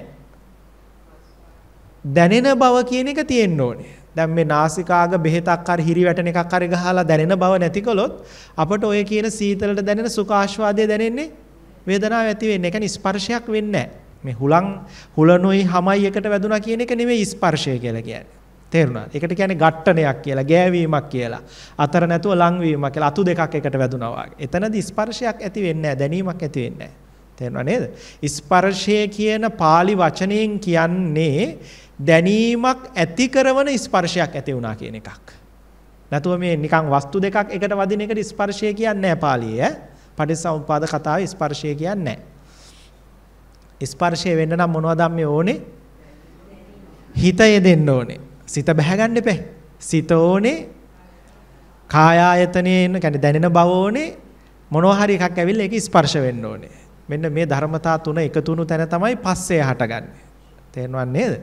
එහෙමනම් අනිවාර්යයෙන්ම දැනෙන බව තිබ්බොත් තමයි ස්පර්ශය හටගන්නේ. එහෙනම් ස්පර්ශයක් වෙන්නෙම මොනවා නිසාද? මේ නාසිකාග හරි තොල් පොටේ හරි දැනෙන බව කියන එක තිබ්බු නිසා.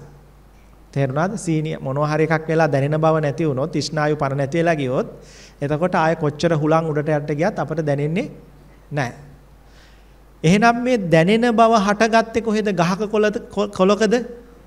නෑ දැනෙන බව හටගත්තේ මේ මස් ටිකේ මේ මස් ටික තිබ්බොත් තමයි දැනෙන බව හටගන්නේ. මස් ටික නැතුව මෙතන යකඩ ප්ලේට් එකක් තිබ්බනම් දැනෙන බව හටගන්නේ නැහැ. මස් ටික තියෙන නිසාමයි දැනෙන බව හටගන්නේ. දැන් මේවා අතීතේව නෙමෙයිද? දැන් දැන් මේ මොහොතේ හටගන්නේ අම්මලා වේදනාව. පැහැදිලිනේ? මේ මොහොතේ හටගන්නේ වේදනාව. ඒ වේදනාව හටගත්තේම ස්පර්ශයක් සිද්ධ වුණු නිසාමයි. ස්පර්ශය වුණේම දැනෙන බව තිබ්බු නිසාමයි. දැනෙන බව කියන්නේ මේ වෙනකොට uppන්න ධර්මයක්. ඔව් uppන්න ධර්මයක්. එතකොට ඒ දැනෙන බව කියන එක හටගත්තේ මේ මස් ටික හටගත්තු නිසා අතීතයේ අම්මගේ කුසේ මස් ටික හටගත්තු නිසා මේ මස් ටික මේ මස් ටික අම්මගේ කුසේ නිකන් හටගන්නවද නෑ මේ මස් ටික කුසේ හටගන්න නම් කලල රූපයට විඥානයක් බැහැ ගන්න ඕනේ. බැහැගත්තොත් තමයි මේ නාසයයි මේ තොල් පොටවල් මේව හැදෙන්නේ. අම්මගේ කුසේ මේ මස් ටික හැදෙන්නේ. නැත්තම් හැදෙන්නේ නැහැ. එහෙමනම් විඥානයේ නිසාමයි බැසගත්තු නිසාමයි වෙන කිසිදු ක්‍රමයක් නැහැ මේ මස් ටික හදන්න. કૃතිමව මේ මස් ටික හදන්න බෑ. වෙන තැනකින් ගෙනල්ලා මෙතෙන්ට බද්ධ කරන්න පුළුවන්. නමුත් මේ මස් ටික કૃතිමව තැනක උපද්දවන්න බෑ. තේරුණාද? ඒ නිසා අම්මගේ කුසට විඥානයක් බැස ගන්නම ඕනේ. මිනියකින් කපලා මස් ටිකක් හදන්න පුළුවන්. හැබැයි මේ මස් ටිකේ ස්පර්ශය වෙන්නේ නැහැ. ඒක අම්මගේ කුසේ විඥානයක් බැසගෙනම හැදෙන මස් ටිකක් වෙන්න ඕනේ ස්පර්ශයක් සිදු වෙන්න නම් දැනීමක් හටගන්න නම්. එහෙනම් මස් ටික හටගත්තේ විඥානය බැහැගත්තු හින්දා. විඥානයක් බැහැගත්තේ ඇයි මේකට ඉපද මේකට බැහැගන්න තිබ්බු ආසාව හින්දා. මේ ස්පර්ශය මේ වේදනාව විඳින්න අපේ සිතේ තිබ්බු තණ්හාව නිසා. ඒ තණ්හාව ඇති වුණේ ඇයි මෙන්න මේ ටික ගිය ජීවිතේ මං දැක්කේ නැති නිසා හුස්ම ගන්නකොට මෙන්න මේ ටික මං ගිය ජීවිතේ දැක්කේ නැති නිසා මේ නාසයේ හුස්ම වැඩි වැඩි යන සුඛ ආස්වාදය ගැන ලොකු තණ්හාවක් මට තිබ්බා. ඒ නිසා හුස්ම ගන්න ඕනෙමයි කියන තණ්හාව තිබ්බා ගිය ජීවිතේ මැරෙනකොට. ඒ නිසා මේ ජීවිතේ නහයක් හටගත්තා. ඒ තණ්හාව කරන කොටගෙන කර්මය උපකාර කරගෙන මස් ටිකක් හටගත්තා. තේරුණාද? එහෙනම් ගිය ජීවිතේ ඔය කියන අවිද්‍යාවයි තණ්හාවයි නිසාමයි ඒකට කර්මය එකතු වෙලා මේ කියන ප්‍රතිසන්දි විඥානේ කුසට බැහැගත්තේ. දැන් ওই ධර්මතා ටිකම ආපස්සටනේ බැලුවේ කොයි පැත්තටද බැලුවේ? අතීතයට බැලුවේ. අපේ මානසිකාරය කොහෙටද අරන් ගියේ? අතීතයට අරන් ගියේ. හරි. දැන් අතීතයට ගිහිල්ලා එතනින් නවතින්නේ ආය වර්තමානයට සම්බන්ධ වෙනවා. කොහොමද සම්බන්ධ වෙන්නේ? දැන් ඔය කියන කතන්දරේ සිද්ධ වුණේ අවිද්‍යාව නිසානේ. තේරුණාද? ඒ කියන්නේ දැන් මම මේ මානසිකාර කරගෙන ගියපු එක ගිය ජීවිතේ බැරි වෙච්ච හින්දානේ අම්මේ. පැහැදිලිද? දැන් අද මං ඕක මානසිකාර නොකර ඔය දැනෙන සුඛ ආස්වාදයට ඇලුනොත් ආය ආය හුස්ම ගන්න ආසෙන් ආනපාන භාවනාව කරනකොටත් මේකේ මාර සැපයක් දැනෙනවා දැනෙනකොට තව ටිකක් භාවනා කරන්න ඕනේ කියලා තව ටිකක් හොඳට මාර පහසුවක් නේ දැනෙන්නේ සැපයක් නේ. ඉතින් ඒකට ඇලෙනවා සුඛ ආස්වාදයට. ඇලුනහම මොකද වෙන්නේ? ආය ආය භාවනා කරලා ඒක උපාදාන කරගත්තාම හෙටත් භාවනා කරන්න ඕනේ කියලා ආය ඒ ඒ ආස්වාදේ උපාදාන කරගන්න. භාවනාව නෙවෙයි. අර භාවනාව තුළ ඉන්නකොට දැනෙන සැපේ උපාදාන කරගෙන හෙටත් භාවනා කරන්න ඕනේ කියනවා. ඉතින් එතකොට ඒක එතන උපාදානයක් සකස් වෙනවා. දැන් මේ අනාගත පැත්ත බලන්නේ උපාදානයක් සකස් වෙනවා. උපාදානයක් සකස් වුණාම ආපහු ආපහු බ්‍රහ්ම ලෝකේ හරි උපදින්න කර්ම සකස් කරනවා මෙතන. ආය ආය භාවනා කර කර ආය ආය කර්ම සකස් කරනවා. කර්ම සකස් කළා මෙවුවා ආය ප්‍රතිසන්දියක් ගෙන දෙන තැනට මේරුවාම වට කියනවා කර්ම භව කියලා. ඒ නිසා බ්‍රහ්ම ලෝකෙක හරි කියන්නේ ආය ආය භාවනා කළා භාවනා කළා ධානයක් ඉපදුවොත් බ්‍රහ්ම ලෝකෙක හරි ආයෙත් භාවනා කර කර අර ධාන සැපය අර භාවනා සැපය විඳින්න පුළුවන් ජීවිතයක් ආය පහළ වෙනවා. තේරුණානේ? එහෙනම් අර චක්‍රය අර අර විදිහට මෙනෙහි නොකිරීම නිසාම ඒකට අපි ආස්වාදයක් ඇති කරගෙනනේ මෙහිම ආයෙත් ප්‍රතිසන්දියක් කරා ගියේ. අතීතයට අපිට මානසිකාර්යය පවත්වන්නත් පුළුවන් නැත්නම් අනාගතයේ පැත්තට මානසිකාර්යය පවත්වන්නත් පුළුවන්. ওই මානසිකාර දෙකට කාරණාවක් කියනවා අපේ අම්මලා. ওই මානසිකාර දෙකට. දන්නවද? නෑ යෝනිසෝ මානසිකාරය තමයි ඕකට කියනවා ඔතන තමයි හොඳට බලන්න දුක හටගන්න හේතුව නෙමේද ඔයාලා සම්මර්ෂණය කළේ ඔතනදී. නැද්ද? දුක හටගන්න හේතුව නෙමේද සම්මර්ෂණය කළේ. දැන් ධර්ම ඉගෙන ගන්න කෙනෙකුගෙන් දුක හටගන්න හේතුව මොකක්ද කියලා අහුවොත් කෙලින්ම කියනවා තෘෂ්ණාව කියලා. සමුදය ධර්මය කියලා. සමුදය සත්‍ය කියලා. හැබැයි ඔය සමුදය සත්‍ය නෙවෙයිද අපි ප්‍රායෝගිකව භාවනාව තුලින් මේ බැලුවේ. ඇයි මේ සුඛ ආස්වාදය කියන්නේ දුකක්මනේ. සැප වේවා දුක වේවා උපේක්ඛා වේවා මේ ත්‍රිවිධ වේදනාම දුක්ඛ සත්‍යයටයි ඇතුළත් වෙන්නේ. මේ ඔක්කොම වේදිත වේදනා. එකම එක සැපයයි මේ ලෝකේ තියෙන ඒ තමයි අවේදිත සැපය. නිර්වාණ ධර්මයේ තියෙන සැපය. අවේදිත සැපය. අනිත් ඔක්කොම දුක්ඛ සත්‍යයට ඇතුළත් වෙන්නේ.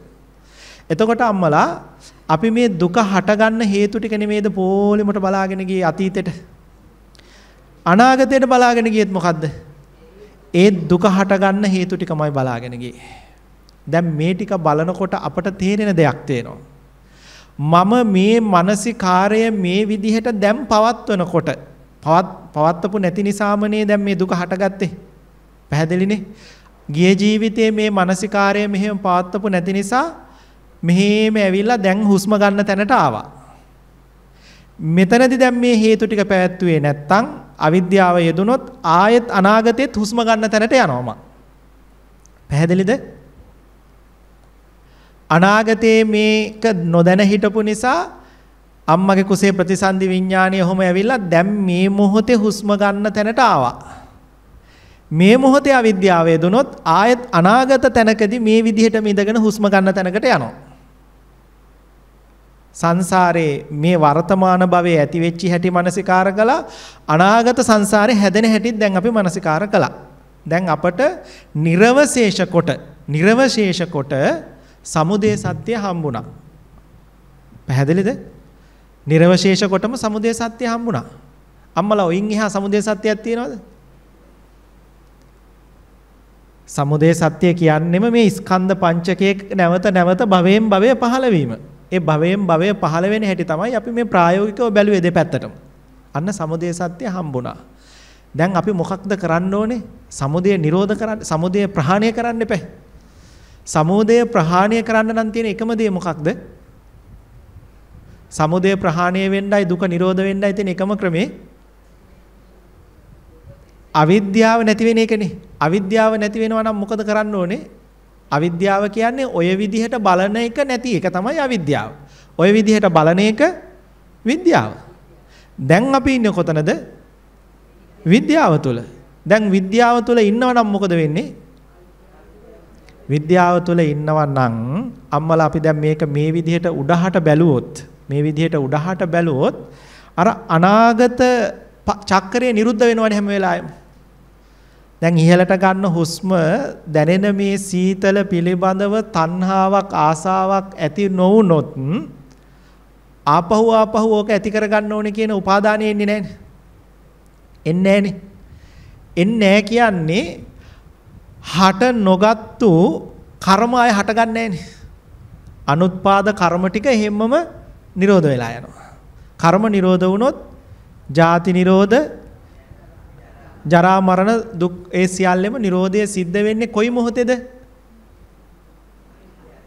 මම මේ හේතු ටික බලන මේ මොහොතෙමයි. අම්මලාට මේ නාසිකාග ඉහළට අම්මලාගේ මේ මුළු සංස් දැන් ඔය පිම්පව් කරනකොට එන කර්මයේ අතීත ස්කන්ධ නිරුද්ධ වෙනවා කියලා නෙමෙයි මේ කියන්නේ. අම්මලා මේ හුස්ම ගන්න මොහොතේ අතීත කර්ම කියන්නේ අනාගතයේ සංසාරයක් සකස් කරනවානේ. අන්න ඒක නැති වෙනවා කියලා මේ කියන්නේ. පැහැදිලිද? අම්මලා දැන් හුස්ම ගන්නකොටත් අනාගතේ නාහයක් ඇති කරලා ඒ නාහය තුල ලැබෙන සුඛාස්වාදයේ විඳින්න කැමැති බව ඇති වෙන නිසා අනාගතෙත් ඔයාලා manuss ලෝකෙක ඉපදිලා නහයක් පහළ වෙලා තොල් පොටක් පහළ වෙලා මේ හුස්මට සිත තියාගෙන මේ ආස්වාදයේ විඳින තැනකට යනවා අනාගතෙත් ඔයාලා. ඒ යන්න හේතුව සකස් කරන්නේ කොතනද? දැන් මේ හුස්ම ගන්න වෙලාවේ. ඒ හේතුව සකස් කරන්නේ. හැබැයි ඔයාලා මේ හුස්ම ගන්න වෙලාවේ දැන් ඉන්නේ ධම්මානුපස්සනාවේ. ධම්මානුපස්සනාවේ ඉන්න නිසා අර අනාගතයේ හුස්ම ගන්න එක මේ මොහොතේම නැති වෙලා යනවා. පැහැදිලිද? පැහැදිලි නේද? එහෙනම් ඔයාලට පුළුවන් අනාගත භව પરම්පරාවේ Nirodha මේ වෙලාවෙම නාසිකාගින් දකින්න. කොහොමද දකින්නේ? දැන් මං කසාද බැන්දේ නැහැ. ඒ නිසා මගේ පුතා උපදින්නේ නැහැ. මගේ පුතාගේ මුණුබුරෝ උපදින්නේ නැහැ මට. මුණුබුරන්ට දරුවෝ හම්බෙන්නේ නැහැ. දැන් මේ මොහොතේම නෙමෙයිද මගේ පුතයි මුණුබුරයි මුණුබුරුන්ගේ දරුවෝයි කියන මේ අනාගත પરම්පරාව මං කසාද නොබැඳ ඉඳීම කියන ක්‍රියාව තුළම නිරුද්ධ වෙලා නැද්ද? ඒවා තාම ඉපදිලා නැති ඒවා හැමම නිරුද්ධ වෙලා ගියේ නැද්ද? ආය උපදින්නේ නැහනේ. නිරුද්ධ වෙලා. එහෙනම් මේ හුස්ම ගැනීම තුල ඇති වෙන අනාගත සංසාරයක් තියෙනවා නම් ඒ සංසාරේ මේ වෙලාවේ මේ ධම්මානුපස්සනාව තුළ ඉන්නකොටම නිරුද්ධ වෙවි නිරුද්ධ වෙවි යනවා. එහෙනම් අම්මලා මේ ඉහළට හුස්ම ගන්න එකේ මේ විදිහට මානසිකාර කරනකොට පැහැදිලිද මේ විදිහට මානසිකාර කරනකොට ඔයාලා දකින්න ඒ මානසිකාරයත් එක්කම අනාගත ධර්මතා සියල්ලම නිරුද්ධ වෙලා යනවා කියන එක. පැහැදිලිද? ඇයි හටගන්න හේතුවක් නැහැනේ. ඒ නිසා ඒවා එහෙම්ම මෙහෙම්මම මේ මොහොතේ මේ මොහොතේ නිරුද්ධ වෙලා යනවා. එතකොට ඔයාලට සමුදය දකින්නත් පුළුවන්, Nirodha දකින්නත් පුළුවන්. දෙපැත්තම දකින්න පුළුවන් නාසිකාග සිහිතිය. චතුරාර්ය සත්‍ය කොහොමත් ඔයාලට ඔතනදී අවබෝධ වෙනවා. චතුරාර්ය සත්‍ය අවබෝධ වෙනා වගේම සතර සතිපට්ඨානය තුල සිහිය තියාගෙන ඉන්නේ. පැහැදිලි වුණාද කියූප එක? ආයෙ කියන්න ඕනද? තවත් සරල විදිහකට. හා හිත වලට ගියානේ නේද? හරි සරල ක්‍රමයක් කිව්වේ නාසිකාග සිහිය තියාගෙන ධම්මානුපස්සනාව තුළ චතුරාර්ය සත්‍ය සම්මර්ෂණය කරන හැටි ගැන කිව්වේ. පටිච්චසමුප්පාදය හා චතුරාර්ය සත්‍ය සම්මර්ෂණය කරන හැටි ගැන කිව්වේ. ප්‍රායෝගිකව. ඔතන කාරණා කීයක් හම්බුණාද? හොඳට බලන්නකෝ. අන්ත කීපයක් හම්බුණාම්මල මාත්‍රිකා කීපයක් ඈ. අතීත කොටසක් හම්බුණා ඔයාලට. අතීත කොටස හම්බුනේ උඩ ඉඳලා යටට නෙවෙයි යට ඉඳලා උඩට ඔයාලට හම්බ වෙන්නේ. නාසිකාග සීතල දැනෙනවා, ඒ කියන්නේ වේදනාව සීතල දැනෙනවා, සීතල හටගත්තේ ස්පර්ශයේ හින්දා ස්පර්ශය හටගත්තේ මේ මස් ටික තිබ්බු හින්දා මස් ටික හටගත්තේ අම්මගේ කුසට විඥානය බැහැගත්තු හින්දා විඥානය බැහැගත්තේ මෙන්න මේ විදිහට අතීතේ නුවණ නැතුව අවිද්‍යාව තිබිලා මේ හුස්ම පොදට ඇලුණු හින්දා අතීතයේ ඇලුණු හින්දා අතීතයේ තෘෂ්ණාවයි අවිද්‍යාවයි හින්දා. ඒකෙන් කර්ම රැස් කරගෙන. පැහැදිලිනේ? එහෙනම් ඔන්න එකක් මාතෘකාවක්. ඒක එක දර්ශනයක් ඔයාලට. හරි. මේ වෙලාවේ මට අවිද්‍යාව ඇති වුණොත් දැන් මේ වෙලාවේ මම මේ විදිහට මානසිකාර නොකළොත් මේ සීතලට මේ දැනෙන සීතලට මගේ හිතේ තණ්හාවක් ඇති වෙලා ආය දුකක් ඇති වුණු වෙලාවට නාසිකාග සිය ධානය කියලා අර සුඛ ආස්වාදයට සිහිය පිහිටුවාගෙන ඒකට ඇලිලා අර දුක නැති කර ගන්න හදනවා. අම්මලත් කරලා ඇති සමහර වෙලාවට. නේද? නාසිකාගට සිහිය අරගෙන එහෙම කරලා ඇති. අන්නේ ඒ විදිහට මේ හුස්ම පොදට ඇලුනොත් මොකද වෙන්නේ? ආයායේ හුස්ම පොදට ඇති කරගන්න ඕන කියන සිත පහළ වෙලා ඒක උපාදාන කරගන්නවා. උපාදාන වුණාම මරණ වේලාවෙත් මරණ වේදනාවවත් නාසිකාග සිහිය තියාගෙන ඒ හුස්ම පොදට සිහිය පිහිටව ගන්නවා. කියන්නේ ඒ හුස්ම පොදට ඇලීම පිහිටව ගන්නවා. ඒ ආශ්වාද අර වේදනාව අමතක කරලා ඉහළට පහළට යන හුස්ම පොදේ ආනපාන හුස්ම පොද තුල දැනෙන සුඛාස්වාදයට සිහිය ඇති කරගන්නවා. ඇලීම ඇති කරගන්න. ඒ හුස්ම පොද උපාදාන කරගෙන සමහරලාට බ්‍රහ්ම ලෝකේ වුණත් යන්න පුළුවන්. සමහර දිව්‍ය ලෝකෙක වුණත් යන්න පුළුවන්. හොඳට හුස්ම ගන්න තියෙන බක්කන්නායක් ඇතුව ඕනනම් උපදින්නත් පුළුවන්. එහෙම වෙන්නේ එතකොට නමුත් කොහොම නමුදු ඒ හුස්ම පොද නිසා දැනෙන වේදනාවට සුඛාස්වාදයේ උපාදාන කරගත්තොත් ඒකාන්තයෙන් නිවන් දකින්නේ ඒක ස්ථිරයි. නිවන් දකින්නේ සුගතියක ඒක අකුසල අරමුණකුත් නෙවෙයිනේ. ඒ නිසා දිව්‍ය ලෝකයක හරි බ්‍රහ්ම ලෝකයක හරි කොතනක හරි ආපහු හුස්ම ගන්න පුළුවන් තැනක උපදිනවා ගිහිල්ලා. ආපහු නහයක් පහළ වෙනවා. දැන් එහෙමනම් මේ වෙලාවේ අවිද්‍යාව යෙදුනොත් අනාගත પરම්පරාව හටගන්න එක එක මාතෘකාවක්. ඒකත් තේරෙනවානේ. ඔන්න දෙකයි කාරණා. එකක් තමයි මෙතන මේ මෙතන මේ වේදනාව ඇති වෙන්න හේතුව අතීත හේතු ටික. මෙතන ඉඳලා උඩට බැලුවා අතීත පැත්තට. අනිත් ධර්මතාවය තමයි අනාගතයේ මේක ඇති වෙන්න හේතු ටික බැලුවා අවිද්‍යාව යෙදුනොත්. දෙපැත්තම හරිනේ. තුන්වෙනි මාතෘකාව තමයි මම මෙතනදී ඇත්ත ඇති සැටියටම දැකලා මේ ආස්වාදයට ඇලුනේ නැත්තම් මේ හුස්ම ගන්නකොට දැනෙන ආස්වාදයට ඇලුනේ නැත්තම් මට ආය උපාදානයක් ඇති වෙන්නේ නැහැ. උපාදානයක් ඇති නොවුනොත් ඒ නිසා මම කර්ම කරන්නෙත් නැහැ අනාගතේ. කර්ම කරන්නේ නැති නිසා ආය මට භවයක් ඇති වෙන්නේත් නැහැ. ආය ජාති ජරා ව්‍යාධි මරණ ඒ ටික ඇති වෙන්නේත් නැහැ. එහෙනම් ඒ වාගේ නිරුද්ධ වීම දැන් මේක සිහියෙන් බලනකොටම මේ මොහොතේම සිද්ධ වෙවි සිද්ධ වෙවි යනවා. පැහැදිලිද? එහෙනම් අතීත භව પરම්පරාවක Nirodhaය මේ මොහොතේම නාසිකාගින් දකින්න පුළුවන් Nirodha සත්‍යය. බැයිද? පුළුවන්නේ? අම්මලා බැරි වෙලාවත් සතර සතිපට්ඨානයෙන් වෙන් වුණොත් අනාගත භවය හට ගන්නවා. සතර සතිපට්ඨානය තුල හිටියොත් හටගන්නේ නැත්තේ මොකද? තණ්හාව උපාදාන මට්ටමට යන්නේ නැහැ. යන්නේ නැත්තේ ඇයි හේතු සම්මර්ෂ උඩ පැත්තටමයි බලන්නේ. උඩ පැත්තටමයි බලන්නේ. ඇති වෙන හැටිමයි බලන්නේ. නැති වෙන හැටිමයි බලන්නේ. ධර්මතාවයමයි බලන්නේ. ආය මේක ආස්වාදනය කර කර ඒකට ඇලෙන්න යන්න කාලයක් නැහැ. ඒ නිසා අතීත භවය ආය හටගන්නේ ඕකෙන් උපදින්න නැති වෙනවා කියන එක නෙවෙයි මේ කියන්නේ. හුස්ම පොද නිසා හට ගැනීමට નિયમિત ස්කන්ධ પરම්පරාව විතරක්ම නිරුද්ධ වෙලා යනවා. මුළු ජීවිත කාලේ සතර සතිපට්ඨානය තුලම හිටියොත් අනාගත සියලුම ස්කන්ධ බවම් પરම්පරා ටික නිරුද්ධ වෙලා යනවා මේ මොහොතේ ඉඳලා. සතිපට්ඨානයට ආපු තැන ඉඳලා. අතීතයේ සතිපට්ඨානයේ නැති කාලයේදී හටගත්තු කර්ම ශක්තියින් නිසා නිවන් දකින්නකම්ම අනාගතේ හට ගන්න පුළුවන්. හැබැයි සතර සතිපට්ඨානය තුල ඉන්න තාක්කල් අද ඉඳලා අද සතර සතිපට්ඨානයේ පිහිටියොත් අද ඉඳලා තව අවුරුදු 20ක් ජීවත් වුණොත් ඒ 20 ඇතුළතදීම ඔයාලට කර්ම සකස් කරගන්නේ නැහැ. අර අනාගත උපාදාන කර්ම භව ආදී සකස් කරගන්න නැතුව ඉන්න පුළුවන්. ඉන්න පුළුවන්. කර්ම සකස් කරගන්න නැතුව ඉන්න පුළුවන්. උපදින්න හේතු වෙන.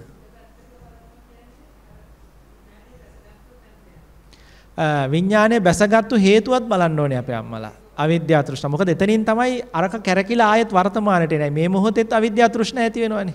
චක්‍රේ කැරකිලා ආයෙ මුලට එන්න ඕනේ. ඒක අතීතයෙන් නවත්තන්න එපා. එතකොට සිත අතීතේ නතර වෙනවා. අතීතයේ අවිද්‍යා තෘෂ්ණා කියන තැනට මෙනෙහි කරලා ඒ අතීත අවිද්‍යා තෘෂ්ණා ටිකම දැන් මේ වර්තමානයේ මේ මොහොතේ ඇති වුණොත් අනාගතයේ මේ විදිහට චක්‍රය ඇති වෙනවා කියන තැනකට යන්න ඕනේ. ගිහිල්ලා තමයි දැන් මම සතර සතිපට්ඨානය තුළ මේක මානසිකාර කරනකොට අනාගත අර ධර්මතා ටික සියල්ලම මේ මොහොතේම නිරුද්ධ වෙවි නිරුද්ධ වෙවි යනවා කියලා මානසිකාර කරයි. හොඳයි දැන් පරියංග භාවනාවට සෑහෙන වෙලාවක් ගත්තා. කමන්නේ චුට්ටක් විනාඩි 5ක් විතර වඩලා ආපහු අපි නැගිටලා සක්මන් භාවනා කරමු. නමුත් චුට්ටක් විතර මේ ඉගෙනගත්තු ටික පොඩ්ඩක් මානසිකාර කරලා බලමු. ඇස් දෙක පියාගෙන නාසිකාග සිහිය පිහිටව ගන්න. කාලයක් තිස්සේ පුරුදු පුහුණු කරපු ආනාපාන සති භාවනාවට එන්න. ඒ ආනාපාන සති භාවනාව හොඳට වඩන්න. හොඳට ඉහළට යන පහළට යන හුස්ම සිහියෙන් දකින්න. එහෙම පුංචි වෙලාවක් ඉන්න. එහෙම පුංචි වෙලාවක් ඉඳලා ඊට පස්සේ ඔන්න ඔය ස්පර්ශය හටගන්න හේතු සම්මර්ෂණය කරන්න අතීතෙට. ඒ කළා අතීතයේ අවිද්‍යා තෘෂ්ණා තැනට ගිහිල්ලා ආයෙත් එන්න වර්තමානෙට. මේ වෙලාවෙත් අවිද්‍යා තෘෂ්ණා ඇති වුණොත් අනාගතයේ මේ විදිහට භව પરම්පරාව ඇති වෙනවා කියන තැනකට බලන්න. බලලා දැන් මම උපාදාන මට්ටමට යන්නේ නැතුව ඇති වෙන ඇති වෙන ධර්මතා මේ ඇති වෙන වේදනා ඇති වෙන ස්පර්ශ ඔක්කොම ඇති වෙන හැටි නැති වෙන හැටි බල බලා ඉන්නකොට අනාගත භව પરම්පරාව නිරෝධ වෙනවා කියන තැනකට සිහිය පවත්වන්න. ඒක තමයි ධම්මානුපස්සනාව. ඒක විතරක් කරන්න එපා. පිම්බෙන හැකිලෙන ඉහළට පහළට ගන්න ක්‍රියා බලමින් කායානුපස්සනාවත් කරන්න. ඒවා සම්මර්ෂණය කරන කරන හිත් දිහා බලන්න ඊට පස්සේ ඒ හිත් එකින් එකට නිරුද්ධ වෙලා ගියා. ස්පර්ශය බලපු හිත ස්පර්ශය හටගත්තු හේතුව බලපු හිත ඒ හේතුව හටගන්න හේතු වුණු ඊළඟ හේතුව බලපු හිත ඒ හිත් ටිකත් පොලිමට නිරුද්ධ වෙලා ගියා නේද කියලා චිත්තානුපස්සනාවටත් එන්න. ධම්මානුපස්සනාව වඩපු හිත් ටික නිරුද්ධ වෙලා ගියා එකෙන් එකට එකෙන් එකට. අමතක කෙනෙකුට බලා ගන්න ඔන්න මං කියනවා හැමෝම බලා ගන්න නාසිකාග සීතලට ඉහළට යනවා පහළට එනවා සීතලට දැනෙනවා උණුසුමට දැනෙනවා. හොඳට නාසිකාගින් බලන්න. සීතලට උණුසුමට දැනෙනවා. ඇයි මට මේ සීතලට දැනෙන්නේ? මේ හුස්ම පොද හුලම් පොද නාසිකාග ස්පර්ශ වෙන නිසා. නාසිකාග ස්පර්ශ වෙන නිසා. ඇයි නාසිකාග ස්පර්ශ වෙන්නේ? නාසිකාග දැනෙන බව තියෙන හින්දා. දැනෙන බව තියෙන හින්දා. ඇයි මට නාසිකාග දැනෙන බව ඇති වෙන්නේ? අම්මගේ කුසේ මේ මස් වැදැල්ල බැහැගත්තු හින්දා ඇති වෙච්ච හින්දා. මේ මස් ටික මේ දැනෙන මස් ටික අම්මගේ කුසේ ඇති වෙච්ච හින්දා. අම්මගේ කුසේ ඇති වෙච්ච හින්දා.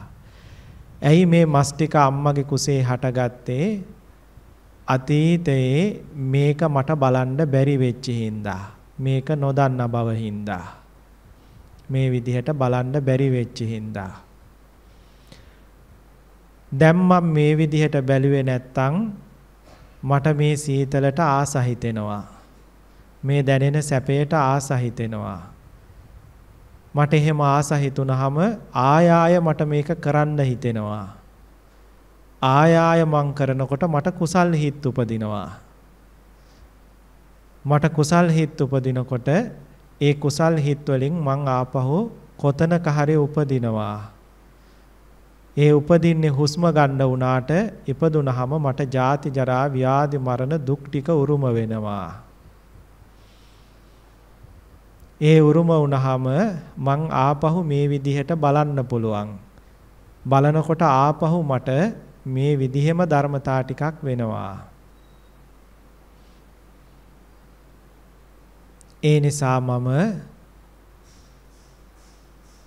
මේ ඇති වෙන නැති වෙන සීතල සම්මර්ෂණය කරනවා මිසක ආපහු ඒ ගැන ආසාවක් තණ්හාවක් ඇති වෙන පැත්තට බලන්නේ නැහැ. සීතලක් හටගත්තා නිරුද්ධ වුණා. උෂ්ණයක් හටගත්තා නිරුද්ධ වුණා. ඉහළට ගත්තා ඒක ඉවරයි. පහළට හෙළුවා ඒක ඉවරයි. එතන එතන ධර්මතා නිරුද්ධ වෙනවා මිසක අනාගතේටවත් අතීතේටවත් දෙයක් ඉතුරු කරන්නේ නැහැ. එතන එතනම ධර්මතා නිරුද්ධ වෙලා යනවා. මම සිහිනුවණින් බලාගෙන ඉන්නවා.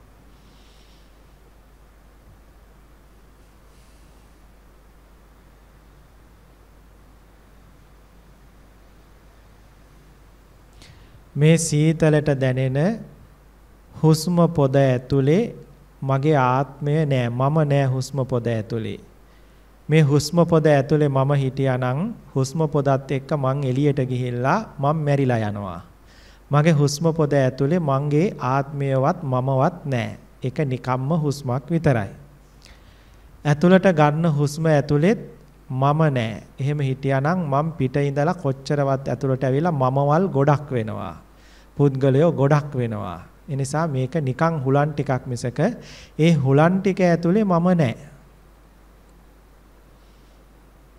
ඉහළට ගන්න හිතෙන හිත ඇතුලේ මං ඉන්නවද? ඒ හිත ඇතුලේ මම හිටියානම් ඒ හිත ඉහළට ගන්න හිතෙන හිත ඇතුලේ මම හිටියානම් ඒ හිත නිරුද්ධ වෙලා පහළට එලන්න හිතෙනකොට මම නැති වෙලා මම මැරිලා යන්න ඕනේ. එහෙම වෙන්නේ නැහැ. ඒ කියන්නේ ඉහළට ගන්න හිත කියන්නේ ධර්මතාවයක්. ඒක ඇතුලේ මම නැහැ. පහළට එළන හිත ඇතුලෙත් මම නැහැ. ඒක නිකම්ම නිරුද්ධ වෙලා යනවා. නමුත් මං ඉන්නවා. මම නැහැ ඒක හිත ඇතුලේ. ඒ හිත ධර්මතාවයක්. පිම්බෙන ක්‍රියාව ඇතුලේ මම ඉන්නවද? හොඳට බලනවා බඩ පිම්බෙන බඩේ පිම්බෙන ක්‍රියාව ඇතුලේ මම ඉන්නවද? පිම්බෙන තැන. පිම්බෙන තැන මම ඉන්නවා නම් ඒක ඉවර වෙලා හැකිලෙන්න පටන් ගන්නකොට මම මැරෙන්න ඕනේ. නෑ පිම්බෙන තැන මම ඉඳලා නෑ. ඒක නිකන් ක්‍රියාවක්. එතන මම නෑ. හැකිලෙන ක්‍රියාව තුළ මම ඉන්නවද? මම නෑ. ඒක නිරුද්ධයි. ඒත් මම තාම ඉතුරු. ඒ කියන්නේ ඒක ඇතුලේ මම නෑ. ඉහළට ගන්න හිතෙන හිත ඇතුලෙත් මම නෑ. පහළට හෙලන්න හිතෙන හිත ඇතුලෙත් මම නෑ. හුස්ම පොදෙත් මම නෑ. නාසිකාග දැනෙන සීතලේ මම ඉන්නවද? ඒ සීතල ඉහළට ගන්නකම් විතරයි තියෙන්නේ. එහෙමනම් මම එතනින් නැති වෙන්න ඕනේ. එහෙම වෙන්නේ පහළට හෙලනකොටත් මම ඉන්නවා. එහෙනම් ඒක ඇතුලෙත් මම නෑ.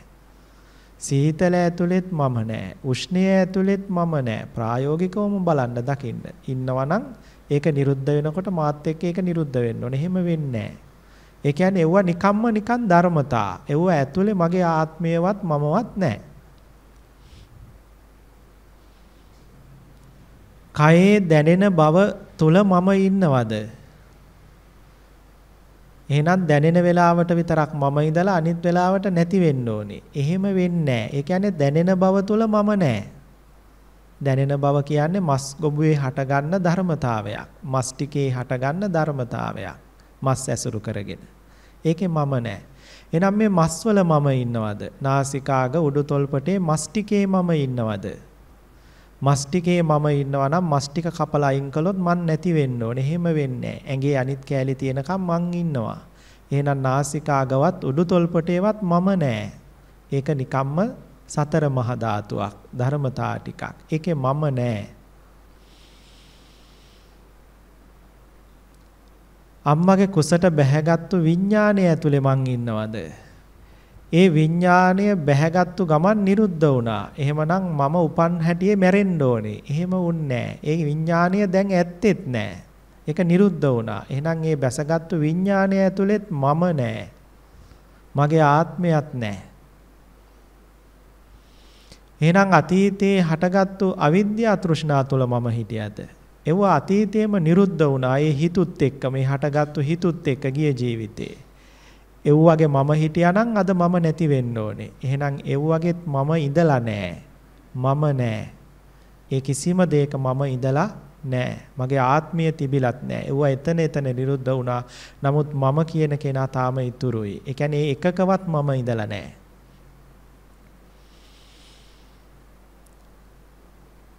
දැන් මගේ හිතේ මේ ඇති වෙන හුස්ම පොදට ඇති වෙන ආසාව තුල මම ඉන්නවද? ඒ ආසාව තුල මම ඉන්නවා නම් වෙන එකකට ආසාවක් ඇති වෙනකොට මම නැති වෙන්න ඕනේ.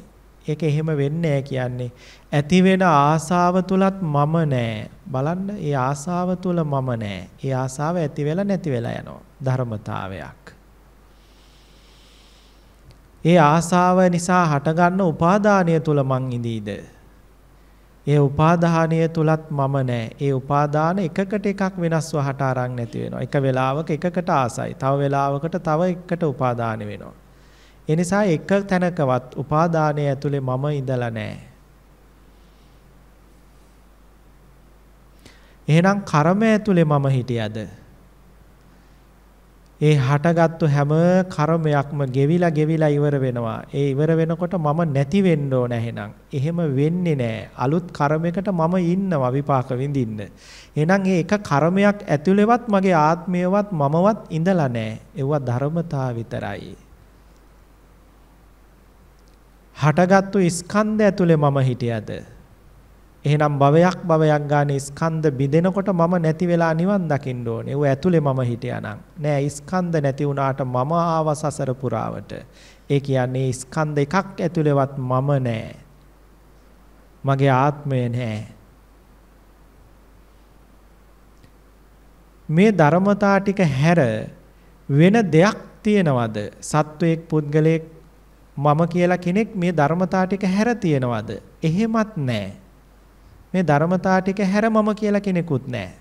මේ ධර්මතා ටික ඇතුළෙත් මම හම්බුනේ නෑ මට. එහෙනම් මේ මම කියන එක මායාවක් නේද? සිතට දැනෙන හැඟීමක් නේද? සිතුවිල්ලක් විතරයි නේද? මනෝභාවයක් විතරයි නේද? ශුන්‍ය හිස් දෙයක් මීදුමක් වාගේ හිතට දැනෙන දෙයක් විතරයි. අර කියන ධර්මතා ටික විතරයි නේද ඇති වෙවි නැති වෙවි යන්නේ පරම්පරා වශයෙන්. කොතනකදවත් මම හම්බුනේ නෑ. මගේ ආත්මය තිබ්බෙත් නෑ.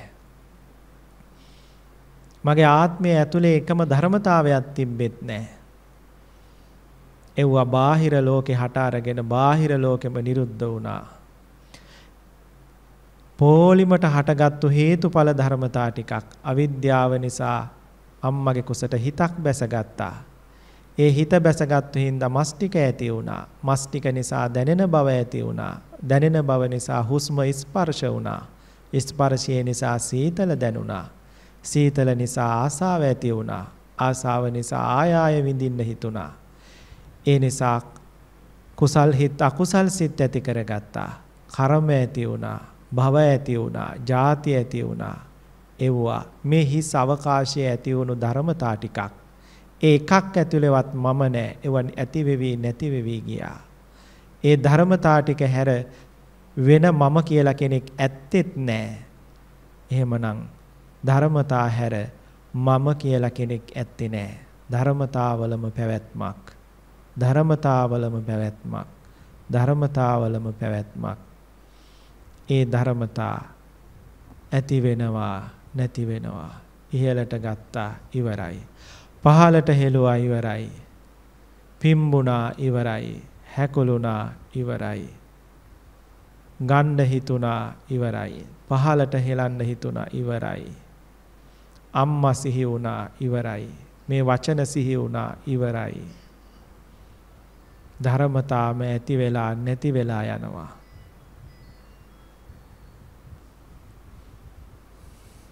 uppajjitwa niruddhanti බලන්නකෝ උපදිනවා නිරුද්ධ වෙනවා uppajjitwa niruddhanti ඉපදෙනවා නිරුද්ධ වෙනවා ඔය ගඟක් ගලන්නා වගේ මහා ගෝසාවට සිදුවෙන ඔය ඉපදීම් විදීම් ටිකෙන් නිදහස් වෙන්න ලැබුණොත් ඒක තමයි පරම සැපේ. එහෙම ඇතිවීම නැතිවීම ටිකක් නැති වෙලා ගියොත් ඒ වගේ නිදහස් වෙන්න ලැබුණොත්. තේසං උපසමෝ සුකෝ කිව්වේ ඒකයි. ඔය සංස්කාරනේ. කොච්චරවත් ඇති වෙන්නේ නැති වෙන්නේ සීතල, උණුසුම, ස්පර්ශ, වේදනා, උස්සනවා, ගිනියනවා, තියෙනවා. ඔය ඔක්කොම සංස්කාර ගොඩවල්. එක එක සංස්කාර, ක්‍රියා සංස්කාර, චිත්ත සංස්කාර, පඨවි ආදී ධාතු සංස්කාර. ඒවා කොච්චරවත් උප්පජ්ජිත්වා නිරුද්ධಂತಿ ඇතිවීම නැතිවීම කියන ධර්මතාවයෙන් පෙළෙනවා.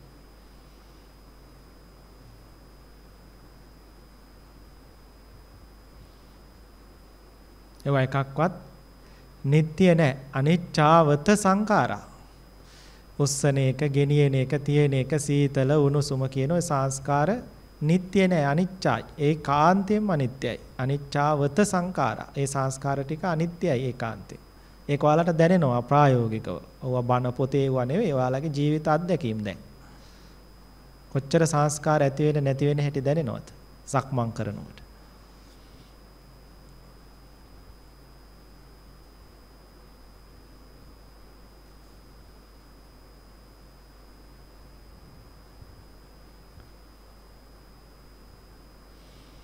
අනිච්චාවත සංඛාරා. බලන්න. ඒක හදවතට දැනෙනවා. උපාද වය ධම්මිනෝ උපාද වය ඉපදීමයි නැතිවීමයි. ධම්මිනෝ ස්වභාව කොටනේ තියෙන්නේ බලන්නකො. ඇවිදිනකොට. සීතල ඇති වෙනවා නැති වෙනවා. ඇතිවීම නැතිවීම ස්වභාව කොට තියෙන සීතල. උණුසුමත් එහෙමයි. ස්පර්ශයත් එහෙමයි.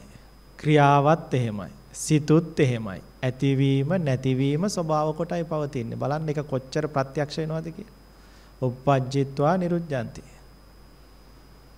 උපාද වය ධම්මිනෝ.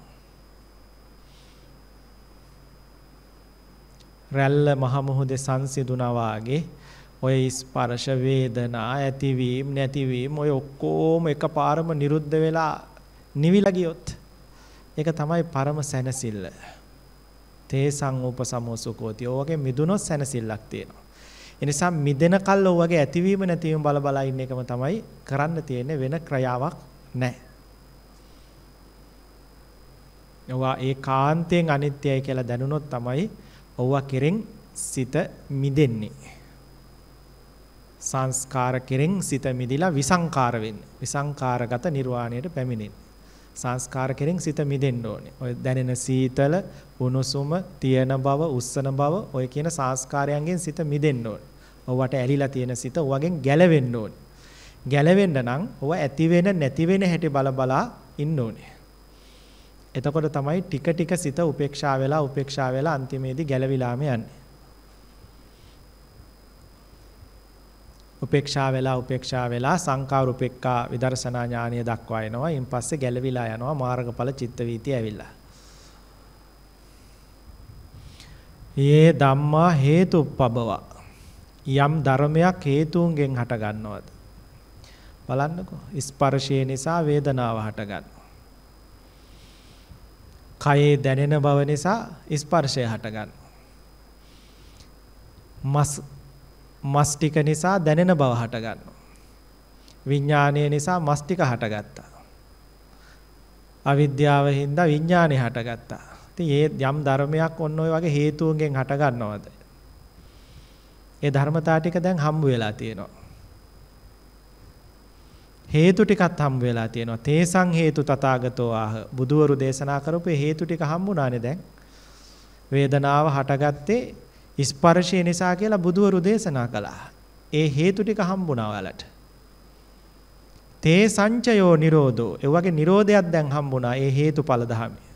ස්පර්ශයයි වේදනාවයි දෙකම කකුල උස්සනකොට නිරුද්ධ වුණා. හට ගන්න නිරුද්ධ වෙන ටික හම්බුණා නිරුද්ධ වීම.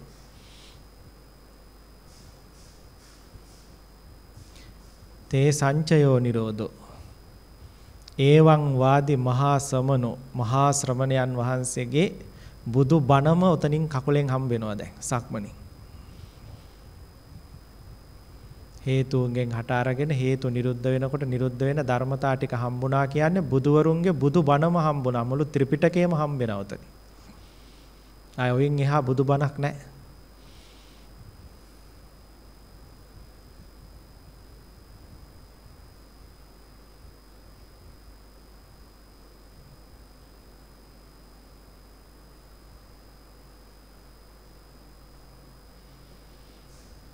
සැහැල්ලුවෙන් සක්මන් කරන්න. ඇති වෙන නැති වෙන ධර්මතා දිහා බලාගෙන ඉන්න. උප්පාදෝ පඤ්ඤායති ඉපදීමක් පෙනෙයි ඔයාලට එතකොට. වයෝ පඤ්ඤායති නැතිවීමක් වයවීමකුත් පෙනෙයි ඔයාලට. ඒ ඒ ක්‍රියාවේ ඒ ඒ දැනෙන බවේ. තිතස්ස අඤ්ඤතත්තම් පඤ්ඤායති. ඒ ක්‍රියාව පවතින වෙලාවෙත් වෙනස් වෙනවා පෙනෙයි ඔයාලට. කකුල පොළවේ තියෙන කාලය තුලත් බුරුලෙන් තද වෙලා තද වෙලා ආය බුරුල් වෙලා ඉස්සෙනවා කකුල. පවතින කාලෙත් වෙනස් වීමක් පෙනී වාලට. තිතස්ස අඤ්ඤ තත්තම් පඤ්ඤායති. ඒක තමයි ධර්මයේ ගැඹුරුම මුල්. ඒ ඔක්කොම මුල් ටික අහු වෙනවා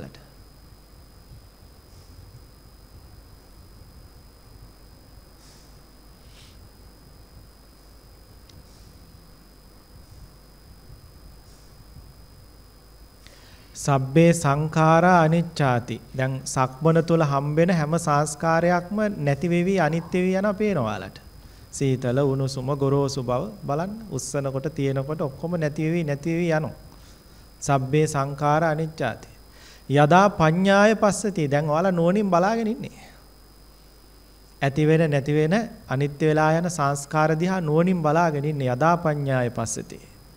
අත නිබ්බින්දති දුක්ඛේ අන්න දැන් ඔයාලා ඔය සංස්කාර කෙරෙහි කලකිරීමට පටන් ගන්නවා ටිකක් බලාගෙන ඉන්නකොට ඇති දෙයක් නැහැ කියලා දැනෙනවනේ හිස් බවක් දැනෙනවා පවතින්නේ නැති ඒ ධර්මතාවයන්ගේ හිස් බවක් දැනෙනවා කොච්චරවත් වැස්සක් වහිනවා වාගේ මුහුද රැලි ගහනවා වාගේ ඇති වෙනවා නැති වෙනවා ඇති වෙනවා නැති වෙන ඇති දෙයක් නැහැ. හිස් බවක් දැනෙනවා. ශුන්‍ය බවක් දැනෙනවා. අර්ථ ශූන්‍ය බව දැනෙනවා. වටිනාකමක් නැහැ කියලා දැනෙනවා. එතකොට කලකිරෙන්න ගන්නවා. ඔය වේදනාව ගෙරින් කලකිරෙනවා. ස්පර්ශ ගැන කලකිරෙනවා. ඒ වගේ සිත වෙන් වෙන්න ගන්නවා. ඒවට බැඳෙන්නේ නැහැ. අත නිබ්බින්දති දුක්ඛේ. ඒස මග්ගෝ විසුද්ධිය. නිවන පිණිස පවතින එකම මාර්ගය ඕක. හොඳයි. දැන් මහා කරුණික සම්මා සම්බුදුරජාණන් වහන්සේ ලොවට දේශනා කොට වදාළ මේ නිවන් මාර්ගය සම්බන්ධ වටිනා දහම් කරුණු ටිකක් ප්‍රායෝගිකව අදත් මේ පින්වතුන් භාවනා මනසිකාර කළා. ඒ නිසා ඔය කියලා දුන්නු විදිහට සක්මන තුලත් පරියංකයේ තුලත් පමණක්ම නෙවෙයි ජීවිතයේ දිනදා කරන ඕනම වැඩ කටයුත්තකදී ඔය කියලා දුන්නු විදිහටම ධර්මතාවයෝ සම්මර්ෂණය කරන්න පුළුවන්. එකමයි එක ඒ විදිහටමයි යෙදෙන්නේ ඔය ධර්මතා ටික. ඇස් දෙකට ඔය ධර්මතා ටික යෙදෙන්නේ. ඒ කියන්නේ ඇහෙන් රූප බලන වෙලාවට ඔය ධර්මතා ටික යෙදෙන්නේ ඔය විදිහටමයි. කන් දෙකෙන් ශබ්දහන වෙලාවට දැන් කයට යටිපතුලට පොළව ස්පර්ශ වෙන වෙලාවයි ඇස් දෙකට රූපයක් ස්පර්ශ වෙන වෙලාවයි කියන දෙක ගත්තහම අරක රූපය මේක පොළව වුණාට ධර්මතාවය එකක්මයි එකමයි වෙන්නේ කන් දෙකට ශබ්දයක් ස්පර්ශ වෙන වෙලාවටයි කකුලට පොළව ස්පර්ශ වෙන වෙලාවටයි එකමයි වෙන්නේ අරමුණ විතරමයි වෙනස් වෙන්නේ. අනිත් සියල්ලම එක හා සමානයි. අරක පොළව අරමුණු වෙනවා මෙතන ශබ්දයක් අරමුණු වෙනවා. අතනදී රූපයක් අරමුණු වෙනවා. නමුත් එතනින් පස්සේ සිදුවෙන සියලු ධර්මතා ටික එකම විදිහට සිද්ධ වෙන්නේ අරමුණ විතරමයි වෙනස් වෙන්නේ. රූප, ශබ්ද, ගන්ධ, රස, ස්පර්ශ කියලා අරමුණු ටික විතරයි වෙනස් වෙන්නේ. ධර්මතා ටික ආයතන හයේම එකම විදිහට යෙදෙන්නේ.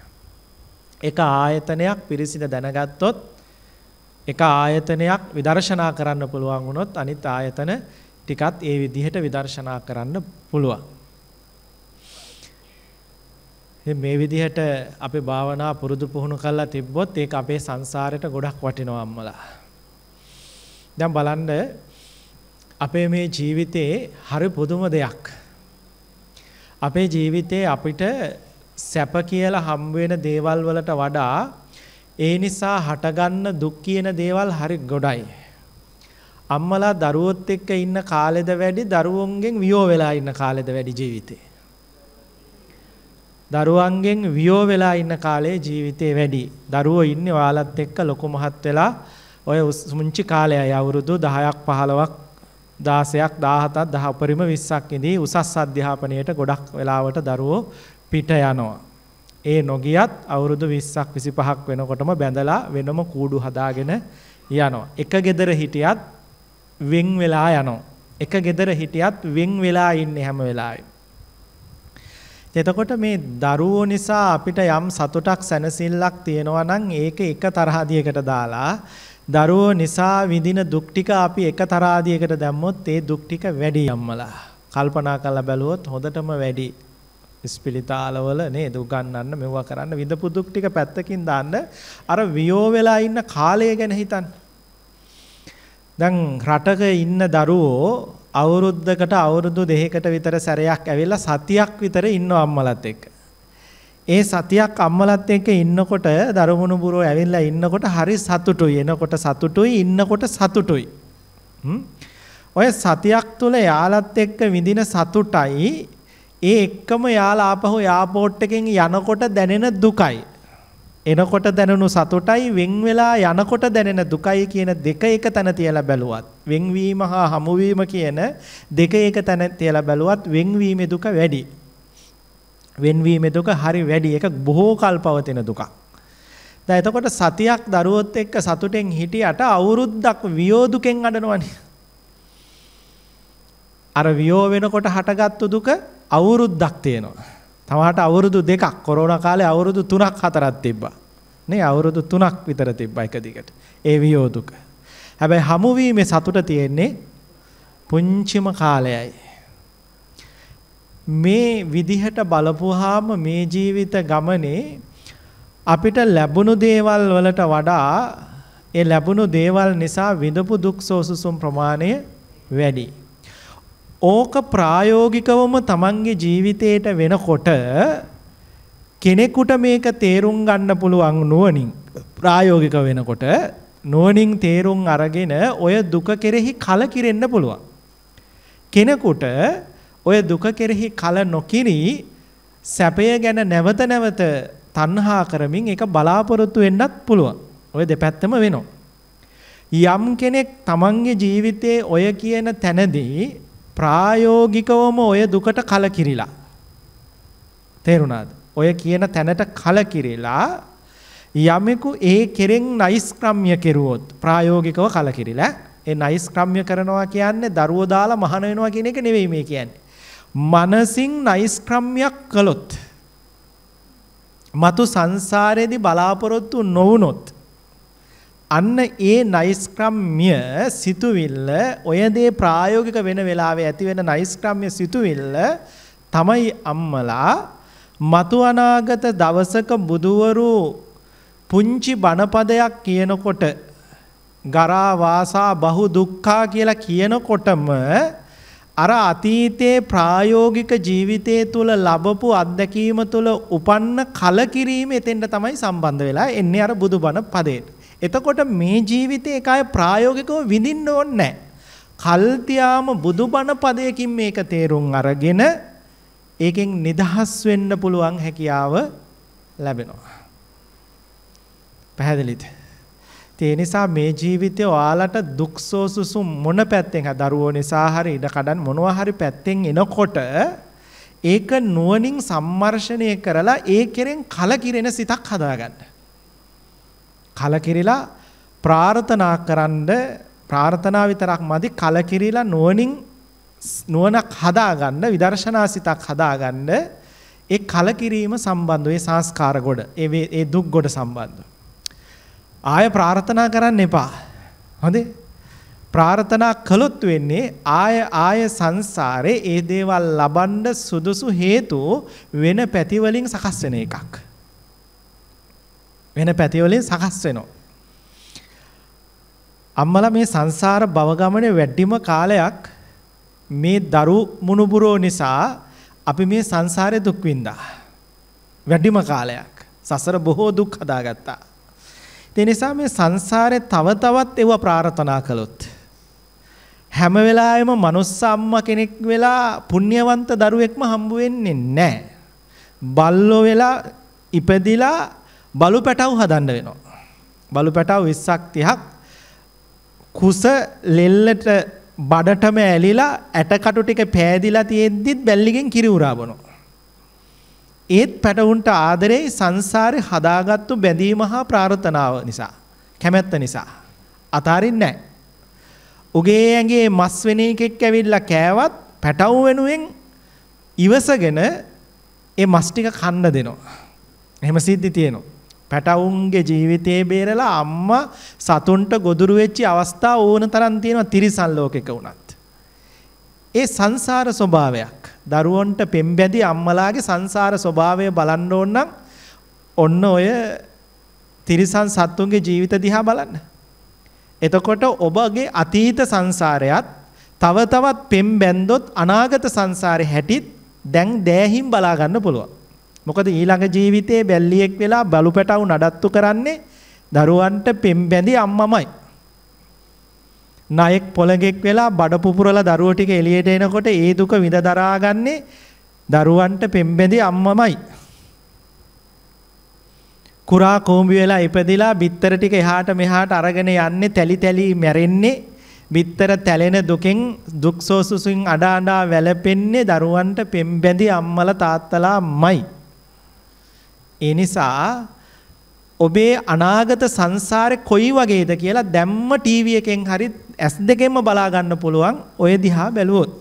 ඒ කියන්නේ එතෙන්ට තණ්හාවක් සකස් කරගත්තොත් බැඳීමක් සකස් කරගත්තොත් සංසාරේ ඕක ලැබෙන එක නවතින්නේ නැහැ. වේ රැජිනක් වෙලා ඉපදිලා එක දිගට පැටව ගහන්න වෙනවා. එක දරුවෙකුට බැඳෙන පෙම් බැඳිල්ල නිසා දරුවන් ප්‍රාර්ථනා කරන නිසා එක දරුවෙක්ම ලැබෙනව නෙවෙයි. ඒ ප්‍රාර්ථනා කරන සිතුවිල්ල ඇතුලේ ලොකු කුසල් කර්මයක් තියෙනවා. නැත්නම් අකුසල් කර්මයක් තියෙනවා.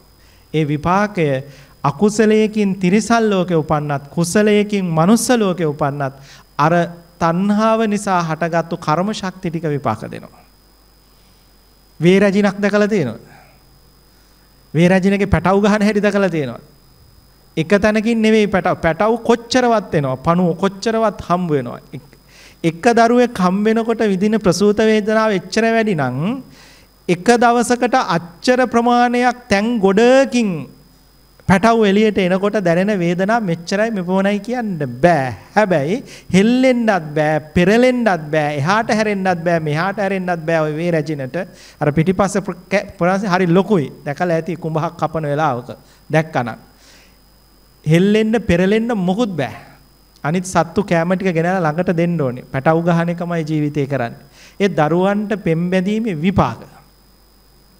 ඒ නිසා සංසාරේ මතක තියාගන්න ලස්සන දරු පැටවෙක් හොරතල් කරන අම්මා කෙනෙක් දැකලා අනේ ඊළඟ ජීවිතේත් මට මේ වගේ ලස්සන දරු පැටවෙක් ලැබේවා කියලා විහිළුවටවත් හිතන්න එපා. වේ අම්මට ඒ හම්බ වෙන පැටියා අර ලස්සන දරුවෙක් තමයි.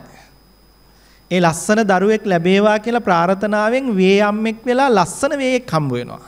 බලු අම්මෙක් වෙලා ලස්සන දරු පැටියෙක් හම්බ වෙනවා. ලස්සන බලු පැටියෙක් බූල් තියෙන. තේරුණාද? මනුස්ස දරුවෙක්ම ලැබෙන්නේ ලස්සන දරුවෙක් ලැබෙනවා පින් කරලා ප්‍රාර්ථනා කළොත්.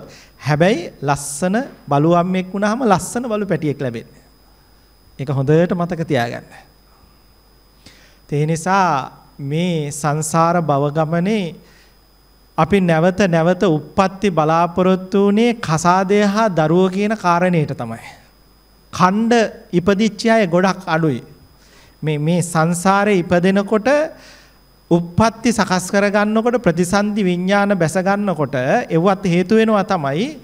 නමුත් බලවත්ව යෙදෙන කර්මය ඛණ්ඩ ආසාව කියන කර්මය නෙවෙයි. ඛණ්ඩ ආසාව කියන කර්මය නෙවෙයි. බලවත්ව යෙදෙන්නේ ඔන්න ඔය කියන කර්ම ශක්ති ටික. ඕවාගෙන් අපිට මනස මුදවගෙන මතු අනාගතයේ ඒ වගේ දේවල් ප්‍රාර්ථනා නොකර ඉන්න පුළුවන් හැකියාවක් මේ ජීවිතේ ලැබපු අත්දැකීම් තුලින් හරි ලබාගෙන හිටියොත් ඔබට පුළුවන් අනාගතයේ පුංචි කාලෙම බණපදයක් ඇහෙනකොට ගිහි ජීවිතයේ දුකයි කියලා ඇහෙනකොටම අතීතේ විඳපු නිසා විඳලා එතනදි කලකිරුණු නිසා ඒ කලකිරිල්ල මේ බණපදයට ගැළපිලා ඇවිල්ලා මේ ජීවිතයේ අත්දැකීම් ලැබෙන්නත් ඉස්සර වෙලාම ඒ වාගෙන් බණපදයක් අහලම නිදහස් වෙලා ඇවිල්ලා මහාන වෙන්න පුළුවන්. ඒක උනේ නිකන් නෙවෙයි. ඒ අත්දැකීම් මේ දුක්සෝසුසුම් අතීත සංසාරේ ප්‍රායෝගිකවම විඳලා ඒව ගැන උපරිමයට කලකිරිලා ඒවා මතු සසරෙදි නොලැබේවා කියලා පින්කම් කරලා කරපු ලද ප්‍රාර්ථනා බල මහිමය නිසා. ඒ නිසා මේ ජීවිතේ ඔබත් ඒ වගේ උතුම් ප්‍රාර්ථනාව තියාගන්න ඕනේ. මහාන වෙන්න බැරි හේතුව ඕක තමයි. ඇයි ගිහි ජීවිතේට කලකිරුණු නැති එකක් දෙනවා. ගිහි ජීවිතය කියන්නේ 아무තු එකක් නෙවෙයි. අපිත් කනවනේ. අපිත් වළඳනවනේ. අපිත් රූප බලනවනේ. අපිත් ශබ්ද අහනවනේ. අපිත් ගඳ සුවඳ ස්පර්ශ කරනවනේ. ගිහි ජීවිතය කියලා කියන තැනටම එන්නේ කසාදය දරුවෝ. කසාදය දරුවෝ. ඔය දෙක කෙරෙන් සිත කලකිරිලා අනිත් පැත්තේ සිත පිහිටවගෙන පිං කරන්න පුළුවන් වුණොත් කසාදය දරුවෝ කියන දෙක නැති වුනහම ඊට පස්සේ අහුවෙන්නේ පැවිද්ද. ඒකෙන් නිදහස් වෙන්න ඒකට කලකිරිලා ඒ පැත්තෙන් නිදහස් වෙන්න ලැබුණොත් අහුවෙන්නේ පැවිද්ද නිසා ඒ උත්තම ප්‍රාර්ථනාව ඇතුව තමයි අපි පින්කම් සිද්ධ කරන්නට ඕනේ. හොඳයි. එහෙමනම් දැන් අපි සම්බුද්ධ පූජාව සඳහා සෝදානම් වෙමු. දරුවන් ගැන කලකිරිලා එහෙම ප්‍රාර්ථනාවක් කරලා සංසාරේ බුදුබණ අහලා මහාන වෙලා ආයෙත් දරුවෝ ගැන හිතිලා යනවනේ. ඇයි දන්නවද? තමන්ගේ දරුවෝ ගැන විඳි දුකෙන් කලකිරිලා ඉන්නකොට මුණුබුරෝ දැක්කහම ආය ආසයිතර. ඒකොල ආයෙත් ඒකට ගැන ආසාව පිහිටව ගන්නවා. ඒ නිසා දරුවෝ ගැන කලකිරීලා කළ ප්‍රාර්ථනාවෙන් බුදුබණ අහලා මහාන වෙන්න වාසනාව ලැබෙනවා. හැබැයි ආය පහු කාලෙක මුණුබුරෝ දැකලා උන්ගේ මූණවල් දැකලා ආයෙත් දරු සම්පල් ලබන්න ඇති වෙච්ච බලවත් ආශාව හින්දා ආයෙත් කලකදී සිවුර ඇල්ල ගිහිල්ලා දරු මුණුබුරෝ හදන්න අකුසල කර්ම විපාක වශයෙන් ඉදිරිපත් වෙනවා. ඉතින් ඒකින්ද ඒ තැන් දෙකදිම රැකෙන්න ඕනේ. එහෙම වුණොත් මරණකම් මහානකම් කරන්න පුළුවන්. හොඳයි දැන් අපි හැමදෙනාම ලෞතර බුදුරජාණන් වහන්සේට උතුම් සම්බුද්ධ පූජාව සඳහා සෝදානම් වන්නේ මහා කාරුණික සම්මා සම්බුදුරජාණන් වහන්සේට තමයි අපේ අම්මලා තාත්තලා දැන් අපි මේ බුද්ධ පූජාව පූජා කරන්න හදන්නේ. ඉතින් අපිට මේ හැම ගැඹුරු බණපදයක්ම දේශනා කොට වදාලේ ඒ ශාන්තිනායකයාණන් වහන්සේ. ඒ ශාන්තිනායකයාණන් වහන්සේගේ ලෞතර බුදුගුණ අනන්තයි. ඒ බුදුගුණ මෙච්චරයි මෙපමණයි කියලා කියන්න පුළුවන් කමක් නැහැ. ඊ හැන්දෑවේ ප ဋ ාණ පූජා වෙලාවේ මම මේ සත්පුරුෂ පින්වතුන්ට මතක් කළා බුදුරජාණන් වහන්සේගේ තියෙන අප්‍රමාණ බුදුගුණස්කන්ධය නිකන් පොඩ්ඩක් කැටි කරලා මහා කාරුණික බුදුරජාණන් වහන්සේගේ රූප සම්පත්තිය හරි ආශ්චර්යමත්. ඒ රූප සම්පත්තිය අපට හිතාගන්න බැරි විදිහේ පුදුම බැබලීමකින් යුතු රූප සම්පත්තියක්. ඇස් අයාගෙන බලාගෙන ඉන්න පුළුවන්. මහා කාරුණිකයාණන් වහන්සේගේ බුදුබඳ රන් කඳක් වාගේ බබලනවා. ඒ රත්තරම් පාට අපි දැකලා තියෙන රත්තරම් පාට නෙවෙයි මං කියලා දෙලා තියෙනවා. දෙව්ලොව, බඹලොව, නාලොව තියෙන රත්තරම් පාටට වඩා ලස්සන රත්තරම් පාටක්. අපේ රත්තරම් පාට වගේ කහ පාට කැතම කැත රත්තරම් පාටක් නෙවෙයි. ඒ පාට හරි කැතයි. මිනිහෙකුට තිබ්බොත් එහෙම බලන්න කැතේ බෑ. අපේ manuss ලෝකේ රත්තරම් පාට තිබ්බොත්. manuss ලෝකේ රත්තරම් පාට වගේ නෙවෙයි දැක්කොත් ඇස් අයාගෙන බලාගෙන රන්වන් පැහැයක් තමයි දෙවිවරුන්ගේ ශරීරයේ තියෙන්නේ. ඒ දෙවිවරුන්ගේ ශරීරයට රත්තරම් පැහැයට වඩා ඊට බලවත් වූ පිනෙන් නිපන් බ්‍රහ්මයන්ගේ ශරීරයේ තියෙන රන් පැහැය බ්‍රහ්ම විමානවල තියෙන රන් පැහැය ඊට වඩා සිය දහස් ගුණයෙන් ආශ්චර්යමත්. හරි ලස්සනයි. කැත නෑ. බලාගෙන ඉන්න පුළුවන්. ඒ බ්‍රහ්මයන්ගේ තියෙන රත්තරම් පැහැයට වඩා බ්‍රහ්මියෝ වෙලා උපදින්නෙත් මේ එක ජීවිතයක ධානයක් වඩලා. මහා කාරුණික බුදුරජාන් වහන්සේ බුදු සිරුර ලැබුවේ ලෞතුරා බුද්ධ ශාසනවල බුද්ධ ශාසන නැති කාලවල මොන්න තරම් පංච අභිඥා අෂ්ට සමාපatti උපදවලා උපදවලා රැස් කරපු පින්ද මොන තරම් ඇස්සිස් මස්ලේ අමුදරුව දන් දීලා සිද්ධ කරපු පින්ද එක දන් හැන්දක් දීලා ලබන ආයුවන්න සැපබල ප්‍රඥා තමයි දෙවිවරුන්ගේ ශරීරයේ තියෙන රත්තරම් පාට. එක බත් හැන්දකින් ලබන එක. මහා කාරුණික ආනන් වහන්සේ සාරාංශකයේ කප්සුවහසක් ආකාශ ගංගාවක් මිහිතලයට හැරෙව වගේ දන් දීලා ලැබපු රත්තරම් පාටක්. ඒක අපට හිතා ගන්න පුළුවන් එකක් නෙවෙයි. ඒ රත්තරම් පාට ਸਰව සම්පූර්ණයෙන් බලන්න පුළුවන් විදිහේ ප්‍රසාද නේත්‍රයක් කිසිම මිනිසියෙකුටවත් කිසිම දෙවියෙකුටවත් පිහිටලා තිබ්බේ නැහැ. හේතුව මිනිස්යන්ගේ ඇස් දෙකේ චක්සුරු ප්‍රසාදයේ ලැබෙන්නේ සංසාරේ මොනවා හරි බෝධියක් දිහා චෛත්‍යයක් දිහා සිත් පහදවලා ඇස් දෙකෙන් බලලා උපදවගත්තු කුසල්සිතකින්. ඒ කුසල්සිත හරි දුර්වලයි. ඒ නිසා එයින් ලබන මේ ඇහි පෙනුම චක්සුරු ප්‍රසාදය හරිම අප්‍රසන්නයි. අප්‍රසන්න කියන්නේ ප්‍රසාදය බොහොම අඩුයි. මද ප්‍රසාදයකින් යුතුයි.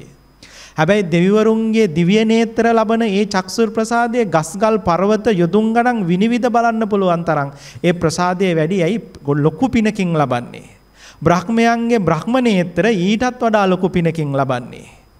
හැබැයි බුදුරජාණන් වහන්සේගේ ඒ ශරීරයේ රන්වැන් පැහැ බලන්ඩ ඒ වාගේ පිනකින් ලබන නේත්‍ර යුක්මයක්වත් සමර්ථ වන්නේ නැහැ. ඔහුට පේන්නේ ඔහුගේ පිනින් ලද ඇසට දැකිය හැකි රන්වන් පැහැය ප්‍රමාණය පමණමයි. මිනිස්සුયો දකින්නේ ඔවුන්ගේ පිනට පුළුවන් ප්‍රමාණය විතරයි. ලෞතුරා බුදු කෙනෙකුගේ ඒ බුද්ධ ශරීරයේ රන්වන් පැහැය නිර්වශේෂ කොට දකින්න නම් එසේම පාරමිතා පුරා ලැබපු බුදු ඇස් දෙකක්ම තියෙන්න ඕන බුදුවරයෙකුගේ ඇස් දෙකක්ම තියෙන්න ඕන. ඒ ඇස් දෙකෙන් විතරයි බුදුවරයෙකුගේ ඇත්තම ලස්සන පාට දැක ගන්න පුළුවන්කම ලැබෙන්නේ. ලෝක සත්වයෝ දකින්නේ ඔවුනොවුන්ගේ පින පමණින් තම තමන්ගේ නේත්‍ර පමණින් විතරයි. ඒ මහා කාරුණිකයන් වහන්සේගේ බුදු බඳේ වාගේ රන් කඳක් වාගේ බබලනවා. සංසාර පිනට ලැබුණේ මෙව්වා. මෙව ආශ්චර්ය නෑ අම්මලා. ආශ්චර්ය ඔය උන්වහන්සේ පිනට ලැබපු පුණ්‍ය විපාකේ නෙවෙයි ආශ්චර්ය. උන්වහන්සේ කරපු පාරමිතාවයි ආශ්චර්ය. පුරපු පිනුයි ආශ්චර්ය. ඇඟ මස් ලියලිය දන් දුන්නු එකයි ආශ්චර්ය. එතනයි අපි පුදුම වෙන්න ඕනේ. එහෙම දන් දීලා ලැබපු ශරීර ස්වභාවය නෙවෙයි ආශ්චර්ය. ඒ වගේ පුදුම වෙන්න දෙයක් නැහැ. එච්චර පිං කරලා ඇයි මෙච්චර අඩුවෙන් ලැබුවේ කියලා දුක් වෙන්නයි තියෙන්නේ. පුදුම වෙන්න නෙවෙයි තියෙන්නේ. ඒ මහා කාරුණික සම්මා සම්බුදුරජාණන් වහන්සේගේ බුදු සිරුරානේ රන් කඳක් වාගේ හැම බබලනවා.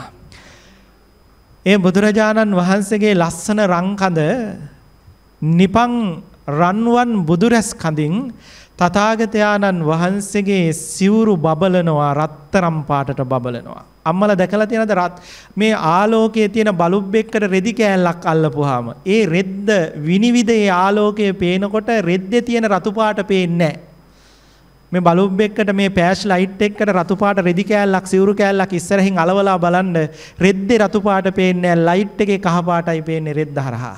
ඒ රෙද්ද කහ පාට බවට පත් වෙනවා ආලෝකයට. ලෞතුරා බුදුරජාණන්සගේ ඒ රන්වන් බුදු රැස් වැදුනහම තථාගත පවුල් සිවුර රත්තරම් පාටින් බබලනවා. ඒ රත්තරම් පාට ලයිට් එකේ රත්තරම් පාටම නෙවෙයි රන්ව රත්තර අර රක්ත වර්ණය මිශ්‍ර වුණු පැහැයකින් මේ බබලන්නේ. දැන් මේ ලයිට් එකේ තියෙන පිරිසිදු කහ පහට නෙවෙයිනේ රෙද්ද වැහපුවාම තියෙන්නේ. රෙද්දේ තියෙන රතු පැහැයත් මිශ්‍ර වෙලා ඒ රතු පැහැයත් එක්කම බබලන්න පටන් ගන්නවා. වහලා බලන්න ගෙදර ගිහිල්ලා රෙද්දකින් බුදුරජාණන් වහන්සේ තථාගතයන් වහන්සේගේ සිවුරු කොන තථාගත සිවුර අම්මලා ඔය දෑතින් මහලා බුදුරජාණන් වහන්සේට පූජා කරන්නේ තථාගත සිවුර බුදුරජාණන් වහන්සේගේ බුදු බඳට වැටුණා මේ වගේ රන්වන් පාටින් බබලනවා. හරියට උපමාවට පෙන්වන්නේ රත්තරම් පර්වතයකට ලක්ෂාරස රාශියක් වක් කරනවා වගේලු. උන්වහන්සේ අඳනා සිවුර ඇඳලා සිවුර පොරව ගන්නකොට. ඒ තථාගත සිවුර රත්තරම් පාටින් බබලන සිරුර වැහෙනකොට ශ්‍රෙද්දෙන් සිවුරෙන් වැහෙනකොට අන්න ඒ වගේලු පේන්නේ. රත් වෙච්චි ලහකඩ අර රත්තරම් පර්වතයකට වැක්කිරෙනවා වගේලු බබලන්නේ. ඒත් සා ආශ්චර්යයි. උන්වහන්සේ බදපටිය බැඳ ගන්නකොට රන් විදුලියක් වාගේ පර්වතයක් රන් පර්වතයක් වටේට දුවන රන් විදුලියක් වගේලු බදපටිය අරගෙන බැඳ ගන්නකොට රන්වන් බුදු රැස් වැදිලා ඒ බදපටිය බඹලන්නේ. බලාගෙන ඉන්න කෙනෙකුට දෙවියෙකුට බ්‍රහ්මයෙකුට ඒක පේන දර්ශනේ ඒසා ආශ්චර්යයිලු. ඒක දැකපු සත්වයෝ ඒසා ආශ්චර්ය දර්ශනයක් දකිනවලු. ඒ මහා කාරුණිකයන් වහන්සේගේ. ඒ මහා කාරුණික සම්මා සම්බුදුරජාණන් වහන්සේ වගේ ලස්සන රූප ස්වභාවයකින් සමන්වාගත වුණා. ඒ බුදු සිරි බුදු අසිරි බුදු මහිම කියා නිමවන්නට සිතා නිමවන්නට බලා නිමවන්නට මේ තුන් ලෝකේ කිසිවෙකු සමර්ථ වන්නේ නෑ අම්මේ තාත්තේ නිසා එපමණ අනන්ත ගුණ ඇති බුදු කෙනෙකුට එපමණ රූප ස්වභාවයකින් බබලන බුදු කෙනෙකුට මේ සම්බුද්ධ පූජාව කරන්නේ ඒ මහා කාරුණික සම්මා සම්බුදුරජාණන් වහන්සේගේ බුද්ධ පාත්‍රාවට ලැබෙන දාන ප්‍රමාණය මෙවුවා මේ නැවත නැවත කියන්නේ සද්දා උපදව ගන්න. ඒ මහා කාරුණික බුදුරජාණන් වහන්සේගේ බුද්ධ පාත්‍රයට එක දවසක ලැබෙන දානිය සක්වල ගල ගැප් දෙකක් තුනක් පුරවන්න තරම් වැඩි. අදත් එහෙමනේ. අද ඒ ඒ සේනාසනේ ඒ ඒ තැන බුදු පිළිම ගාව චෛත්‍ය ගාව ධාතු ගාව තියන්නේ ජීවමාන බුදුන් නැති හින්දා. අද දවසේ මේ 2023 අද මේ මාසේ මේ අද 8 වෙනිදා අටවෙනිදා දහවල බුදුරජාණන් වහන්සේට බුද්ධ පූජා තියන්නට සංසාරේ පින් කරගෙන නියම වෙච්ච හැම සත්වයක්ම අද මේ පෘථිවි තලයේ දෙව් තලයේ බඹ තලයේ දසදහසක් සක්වල කොතනක හරි බුදුරජාණන් වහන්සේ වෙනුවෙන් සම්බුද්ධ පූජා තියෙනවා. උන්වහන්සේ අද ජීවමානව හිටියනම් ඒ ඔක්කොම ගෙනල්ලා බුද්ධ පාත්‍රයටයි ඒ දානීය පූජා කරන්නේ. අද උන්වහන්සේ ජීවමාන නැති නිසායි. අද බුදුරජාණන් වහන්සේට මේ වෙලාවේ දෙව්ලොව බඹලොව දසදහසක් ලැබෙන දාන එක තැනකට ගොඩ ගැහුවොත් කොච්චර දාන ප්‍රමාණයක් අද දහවලට බුදුරජාණන් වහන්සේට ලැබෙයිද? ජීවමානව හිටියානම් ඔය ඔක්කොම බුද්ධ පාත්‍රයට ලැබෙන්නේ. තථාගත සම්මා සම්බුදුවරු චතුරාර්ය සත්‍ය අවබෝධ කරගන්න නෙවෙයි ඇඟ මස් දන් දුන්නේ. චතුරාර්ය සත්‍ය අවබෝධ කරගන්න ඕනේ ප්‍රඥා පාරමිතාව. manuss ලෝකේ උපදෙන්න දානයක් දීලා පිනක් ඕනේ. ඒ පිනෙන් මනුලව උන්වහන්සේට ඉපදුන හැකි. ඊට පස්සේ බුදු වෙන්න මහා ප්‍රඥාවක් ඕනේ. ඒ ප්‍රඥාව ලබන්න උන්වහන්සේ ප්‍රඥා පාරමිතාවයි පුරන්න ඕනේ. ඇඟ ඇස්සිස් මසලේ දන් දෙන්න ඕනේ ලෞතුරා සම්මා සම්බුදුවරු ඇඟ ඉස්මස්ලේ දන් දුන්නේ ලෞතුරා බුදු වුණාට පස්සේ තමන් වහන්සේට ලැබෙන බුද්ධ කෘත්‍ය ඉෂ්ට කරන්නට ඒකට හරියන ශරීරයක් ලබන්න ඕනේ. දස දහසක් සක්වල සත්වයෝ දන් දෙනකොට ඒ දාණය දිරවන්න පුළුවන් ශරීරයක් ලැබෙන්න නම් දස දහසක් සක්වල ඉක්මවල මහා දාන වස්තු ඇඟ මස් දන් දීලා ලැබපු මස් ටිකක් ඇඟේ ලැබෙන්න ඕනේ. ලෞතුරා බුදු පසේ බුදු මහරහතන් වහන්සේලාට මහ මුහුදු පුරවලා මහ දන් දීලා ලැබපු පුණ්‍ය ශක්තියකින් ලැබුණු ආමාසයක් උන්වහන්සේට ලැබෙන්න ඕනේ. නැත්තම් දෙව්ලොව, බඹලොව, නාලොව, සුරලොව ඒ හැම දෙනා එකතු වෙලා දෙන දාණය උන්වහන්සේගේ කුසට දිරවන්නේ එහෙම දිරවන්න සරං උන්වහන්සේට ආමාසයක් ලැබෙන්නට සංසාරේ එහෙම පාරමිතා පුරන්න. ඒ නිසායි බුදුවරු ඇස්සිස් මස්ලේ දන් දුන්නේ. ධර්මය අවබෝධ කරගන්න නෙවෙයි. බුදු වෙලා බුදු කිසීටු කරන්න බෑ සාමාන්‍ය කෙනෙකුට. තේරුණාද? ඒ නිසා මහා කාරුණික සම්මා සම්බුදුරජාණන් වහන්සේ අනේ එක දවසකට ලබන දාන වස්තු එච්චරයි. අපේ අම්මලාට පුළුවන් නම් බුදුරජාණන් වහන්සේට සම්බුද්ධ පූජාව තියෙනකොට කෙනා කෙනාගේ සද්ධාව අනුව දැන් අම්මලා බුද්ධ පාත්‍රයේ මෙච්චර විතර පාත්‍රාවක තියෙනවා බුද්ධ පූජාව. ඇයි අපේ ශක්ති ප්‍රමාණයෙන් අද අපිට බුද්ධ පූජාව මේ වෙලාවේ තියන්න පුළුවන් ශක්ති ප්‍රමාණයෙන් අද අපි මේ බුද්ධ පූජාව එහෙම තියන්නේ. හැබැයි අම්මලාට පුළුවන්කම තිබ්බනම් යොදුනක් විතර ලොකු පාරත්තරාවක බුද්ධ පූජාව තියන්න මොනවා හරි එර්දියක් හරි හැකියාවක් හරි තිබ්බනම් මෙච්චර විතර එක බුද්ධ පූජාව තියන්නේ නැහනේ. Tamanට පුළුවන් උපරිමෙන් මේ සම්බුද්ධ පූජාව තියෙනවනේ. නැද්ද? තියෙනවා. බැරි වෙලාවත් ඔයාලට එ르දියක් තිබ්බොත් මහ මුහුදේ ජලය අයින් කරලා මහ මුහුදටම ආහාර පුරවලා මහ මුහුද පූජා කරන්න එහෙම ශක්තියක් මේ අම්මලට තිබ්බොත් අම්මලා එහෙම සම්බුද්ධ පූජාවක් නොතිය ඉඳීද? අනිවාර්යෙන් එහෙම සම්බුද්ධ පූජාවක් තියෙනවා. දෙවිය ලෝකවල බ්‍රහ්ම ලෝකවල ඉන්න දෙවිවරුන්ට තම තමන්ගේ පින් පමණින් එහෙම හැකියාවල් තියෙනවා. අම්මේ අපේ අඩි පහක් උස අපි අඩියක පිගානක බත් කන හින්දා අඩියක් ලොකු පාත්තරාවක බුද්ධ පූජා තියෙනවා. යොදුන් 50 100 60 උස දෙවිවරු යොදුන් 10 15 උස භාජනවල දිව්‍ය භෝජන වළඳන නිසා සුදා භෝජන ඊට වඩා ලොකු භාජනවලේ අය සම්බුද්ධ පූජා තියෙනවා. හැබැයි ඒ අයගේ පුණ්‍ය ශක්තියෙන් මවන්න පුළුවන් ලොකුම භාජනයක් මවාගෙන ලොකුම ප්‍රමාණයක් ඒ අය සම්බුද්ධ පූජා තියෙනවා. එක අල්පේශාක්‍ය දෙවි කෙනෙක් තියෙන සම්බුද්ධ පූජාවේ එක ගිලම්පස වීදුරුවක අඩිය වහන්න සතර මහා සාගරයේ ජලය මදි කියලා පෙන්නනවා. සිළුමින සෑය ගාව එක අල්පේශාක්‍ය මේ අම්මලා එක දනක් දීලා දිව්‍ය ලෝකේ ගියාම අම්මලට සම්බුද්ධ පූජාව තියන්න සිළුමින සෑය ගාවට ගියාම මේ ආශ්චර්ය දැක්කහම බුදුසිරි දැක්කහම මහා රහත් බ්‍රහ්ම රාජෝ අහසේ පිරීලා ඉන්නවා දැක්කහම යට මාර්ගඵලලාභී දෙවිවරු ඉන්නවා දැක්කහම ඒ අයගේ අනන්ත බුද්ධ ගුණ කතනය ඇහුවාම සිළුමින සෑය ගාව තියෙන මහා ආශ්චර්ය දැක්කහම ඒ පුද පූජා දැක්කහම අම්මට පුළුවන් උපරිම පිණින් වාජනයක් මවාගෙන ඒක මధుර වූ ප්‍රනීත වූ දිව්‍ය භෝජන පුරවගෙන අම්මා දෑතින් දර දරාගෙන යන වාජනයේ අඩිය වහන්න මේ මනුලව සතර මහා සාගරයේ ජලය මදි කියලා පෙන්නනවා. එතකොට තථාගත බුදුරජාණන් වහන්සේට අද මේ වෙලාවේ ලැබෙන සම්බුද්ධ පූජාව මෙච්චරයි මෙපමණයි කියන්න බෑ. ඒ තථාගත බුදුවරුන්ට ජීවමාන කාලේ එච්චර සම්බුද්ධ පූජා ලැබුණා. ඒ පූජාවේ ප්‍රමාණයට පාත්‍රය ලොකු කරගත්තා නම් ඒක මේ බාහිර තාපසයෙකුට කරන්න පුළුවන් පුංචි සතයක්වත් වටින්නේ නැති එ르දියක්. අච්චර ආහාර ප්‍රමාණය උන්වහන්සේගේ පාත්‍රයේ ප්‍රමාණයට අදිෂ්ඨාන කරලා පුංචි කරන්න කෙරුවා නම් ඒකත් මේ බාහිර තාපස කෙනෙකුට කරන්න පුළුවන් පුංචි එරිදියක් ලොකු දේ කුඩා කරනවා කියන එක සතයක් මස්සක්වත් වටින්නේ නැති පුංචි එරිදියක් ඔය දෙකම වෙන්නේ නැතුව බුදුරජාණන් වහන්සේගේ පාත්‍ර මුව විටෙන්ට වඩා දානෙ පිරුණෙත් නැහැ. දානෙ ප්‍රමාණයට පාත්‍රයේ ලොකු වුණෙත් නැහැ. පාත්‍රයේ ප්‍රමාණයට දානෙ කුඩා වුණෙත් නැහැ. ඔය දෙකම නොවි මුව විටෙන් උඩට දානෙ පිරුණෙත් නැහැ. කුසට වඩා කුසේ ප්‍රමාණයට වඩා එක බත් ඇටයක් වැඩි වුණෙත් නැහැ. ඒක තමයි තථාගත ආශ්චර්ය බුද්ධ ආශ්චර්ය කියන්නේ. බුද්ධ ආශ්චර්ය අචින්තනීයයි. පාත්‍රයේ ලොකු වුණා නම් ඒක අපට හිතා ගන්න පුළුවන් එකක්. ආහාර කුඩා වුණා නම් ඒකත් අපට විශේෂ එකක්. ඒ කියන්නේ අපට හිතා ගන්න පුළුවන් ආහාර මෙහෙම කුඩා වුණා කුඩා වෙලා පාත්‍රයට පිරුණා කියන ඒ දෙකම අපේ චින්තනයේට විශේෂ එකක්. ඒව අපිට අචින්තනීය නෑ එර්දි.